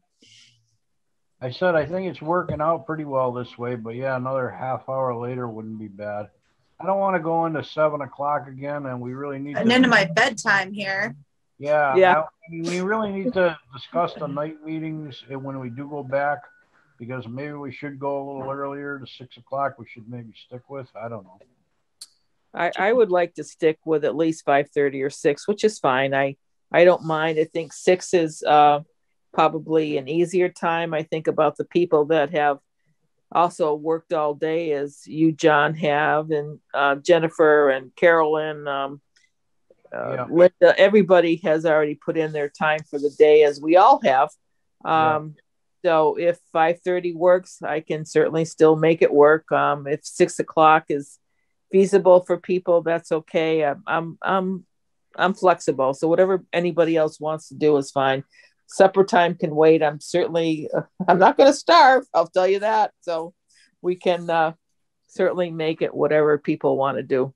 Jane, would uh, six o'clock be better for uh, dinner time? That would be lovely. Uh, and Why don't we try it for a while and see how that goes? Yeah. Carolyn, any major issues on, on your end or Jennifer's end as far as? Okay. All right, everybody good with six? Good with me for now, sure. We'll try it. Starting next week? Yeah, we can do next week. Sure. I, I know Joyce ain't gonna like this idea, but if we go back to maybe three times a week instead of every week, maybe well, first three times three times a week, John. I mean, what? times a month. first, first, second, first, second, and third. You know, so the meetings are a little shorter because the shorter the meetings, I know the better you like it, Joyce. So. Well, I don't mind, John. I think I was going to say that. I think starting at six o'clock, it has worked out well. I haven't mind starting at six, and you know, normally we sometimes get done by eight thirty, if even if we have a three-hour meeting. So that's that's fine with me. I think I only want to keep it to two unless we're doing budget, um, and or if something unusual comes up, and then we can add that third meeting. But I would still like to keep it to two meetings, uh, as every other board has it for now. I agree with John that David had a huge list of things he wanted to get accomplished this term, and doing it every other week, we're never going to get there because there's always the essential things we need to attend to, and it doesn't give us time to process other issues. Yeah, our daily items would be done in two meetings. And as we spoke about before, maybe that third meeting would be to specialize in one item that, that we're all looking into, you know? But we can always call an extra meeting if we have to. I would rather set two meetings a month, and if we have something special, then we can add it. Right now, we have four meetings a month. The way it's going, we're on special t- around annual town meetings. So, yeah, I'd like to try through the summer. I'd like to at least try it. Just summer is probably our downtime. We could do it for two meetings um, a month and see how it goes and revisit this in the fall unless something comes up. Yep. And since the town hall's open, I think we should all make the attempt to go in and start signing the warrants again too. Yep, that's fine. All right. Well, can I get a, a motion to approve this list as a starting point and meetings starting at 6 p.m. going forward via Zoom? I move. Second. All right, motion. We'll, we'll call that motion by Jane, second by Joyce. Roll call vote Fill, Yes. Nevinsmith, Yes. Chunglo, Yes. Waskiewicz, Yes. Parsons. Yeah. Thank you. Sorry. That was a long, drawn out. Yeah. Well, I'm like conceding to 6 p.m., but I also like have to get up early in the morning. So I'm like, I don't want like really, really long meetings. That's why I would concede to 6 p.m., but also additional meetings as needed. So they're not wicked long. Yeah. We'll try not to keep them long. None of us like the long ones. We all get up at five o'clock, Amy, or more. okay. I'm with you. I'm with you on that one. Carolyn, anything from the uh, administrator's report that we need to hit tonight? No, I, I wanted to spare you that. So I knew you were doing the warrant and the budget. Okay. And I think that was it. If uh, anybody has any announcements, we don't need it. Does do we need an executive session? I don't think so, but I'm going to ask the question. I don't think so. No. Okay. I think so. Yeah, we'll skip that. And uh, how about announcements? I only had one, and I don't know if I had mentioned it before, but it was brought to my attention that uh, Jake Matusko had passed away, which is Peter's father and Amelia's ex husband. But um, I just want to send condolences to their family. He was a lifetime resident of Hadley, electrician, and um, so I do send our condolences to his family. Uh, I forgot one thing. Sorry, and this was unforeseen. It was um, brought to my attention by a capital committee member that uh, we left Christian on the committee, but it's actually a violation of the capital committee's bylaw or charter or whatever uh, outline they have to have two at-large members of the community on their on their bylaws. And so they are meeting, I guess, next week. Um, so he brought that to my attention. So I wanted to see if we could resolve that real quick. I said I would volunteer for the spot if no one else wanted it, but if anybody else wanted it, I'm, I'm happy to talk about it. It's just to get us in accordance with uh, their rules before they start voting on these capital issues for town meeting. If you wouldn't mind doing it, David, I'll motion that you accept that position. I'll second. Okay, motion by Joyce, second by Amy.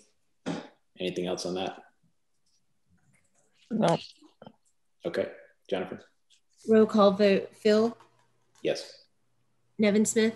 Yes. Chunglo? Yes. Waskiewicz? Yes. And Parsons? Yep. Thank you. And thanks for to Christian for volunteering and sorry we couldn't keep you on there. So Yep. Again, thank you. Um, all right. Any any last announcement? Tommy, did you have something? You turned your camera on. you must be here for something. Yes, uh, 47 Bay Road. The owner had suggested, you know, or offered to donate the property. Um, of course, the stipulation would be removing the house that's been condemned for, I think, about three years now. Where is this? 47 uh, Bay Road. Oh, down by. house. Okay, down there. Yes. Okay, and who's who's offered to offer it to what, Tom? Uh, Mrs. DeForge, I believe it is. Mm-hmm. They live on Middle Street. Um, Right. But they haven't been able to sell it and it's condemned. And with the conservation at all, you know, everybody that researches it realizes they can't do anything with the property. So, you know, being in the floodplain and all, the stipulation would be that the town would be required to remove the house. That's the the bad part about it. Did they do they need a vote instantly on this, or can we push this to uh, on the agenda for next week? Is there a deadline on it? No. Okay. Nope. It was a week or so ago. I sat with them, and that was their best solution. They did reboard it up, but they they have the issue of people, you know, living in there and and everything. So they just as soon have it gone themselves. Okay. All right. So uh, I'd love to talk about it. Let's uh, let's push it to next week just because of the time and, and whatnot, so we can have a good discussion. And let's see what let's let's uh, bring some more details back. Maybe the fire department can burn it down like they like to do. Tommy, can you send me the details so I can add it to the agenda, please? I think that sure. I think that uh, house is on water and sewer too. So All right. Anything else? Oh, motion to adjourn. Adjourn. Second. Um, Motion by Joyce, second by Amy. Jennifer? Roll call vote. Fill? Yes. Nevinsmith? Yes. Chunglo? Yes. Waskiewicz? yes. And Parsons? Yes. Thank you. All right. See you on the 12th at 6 p.m.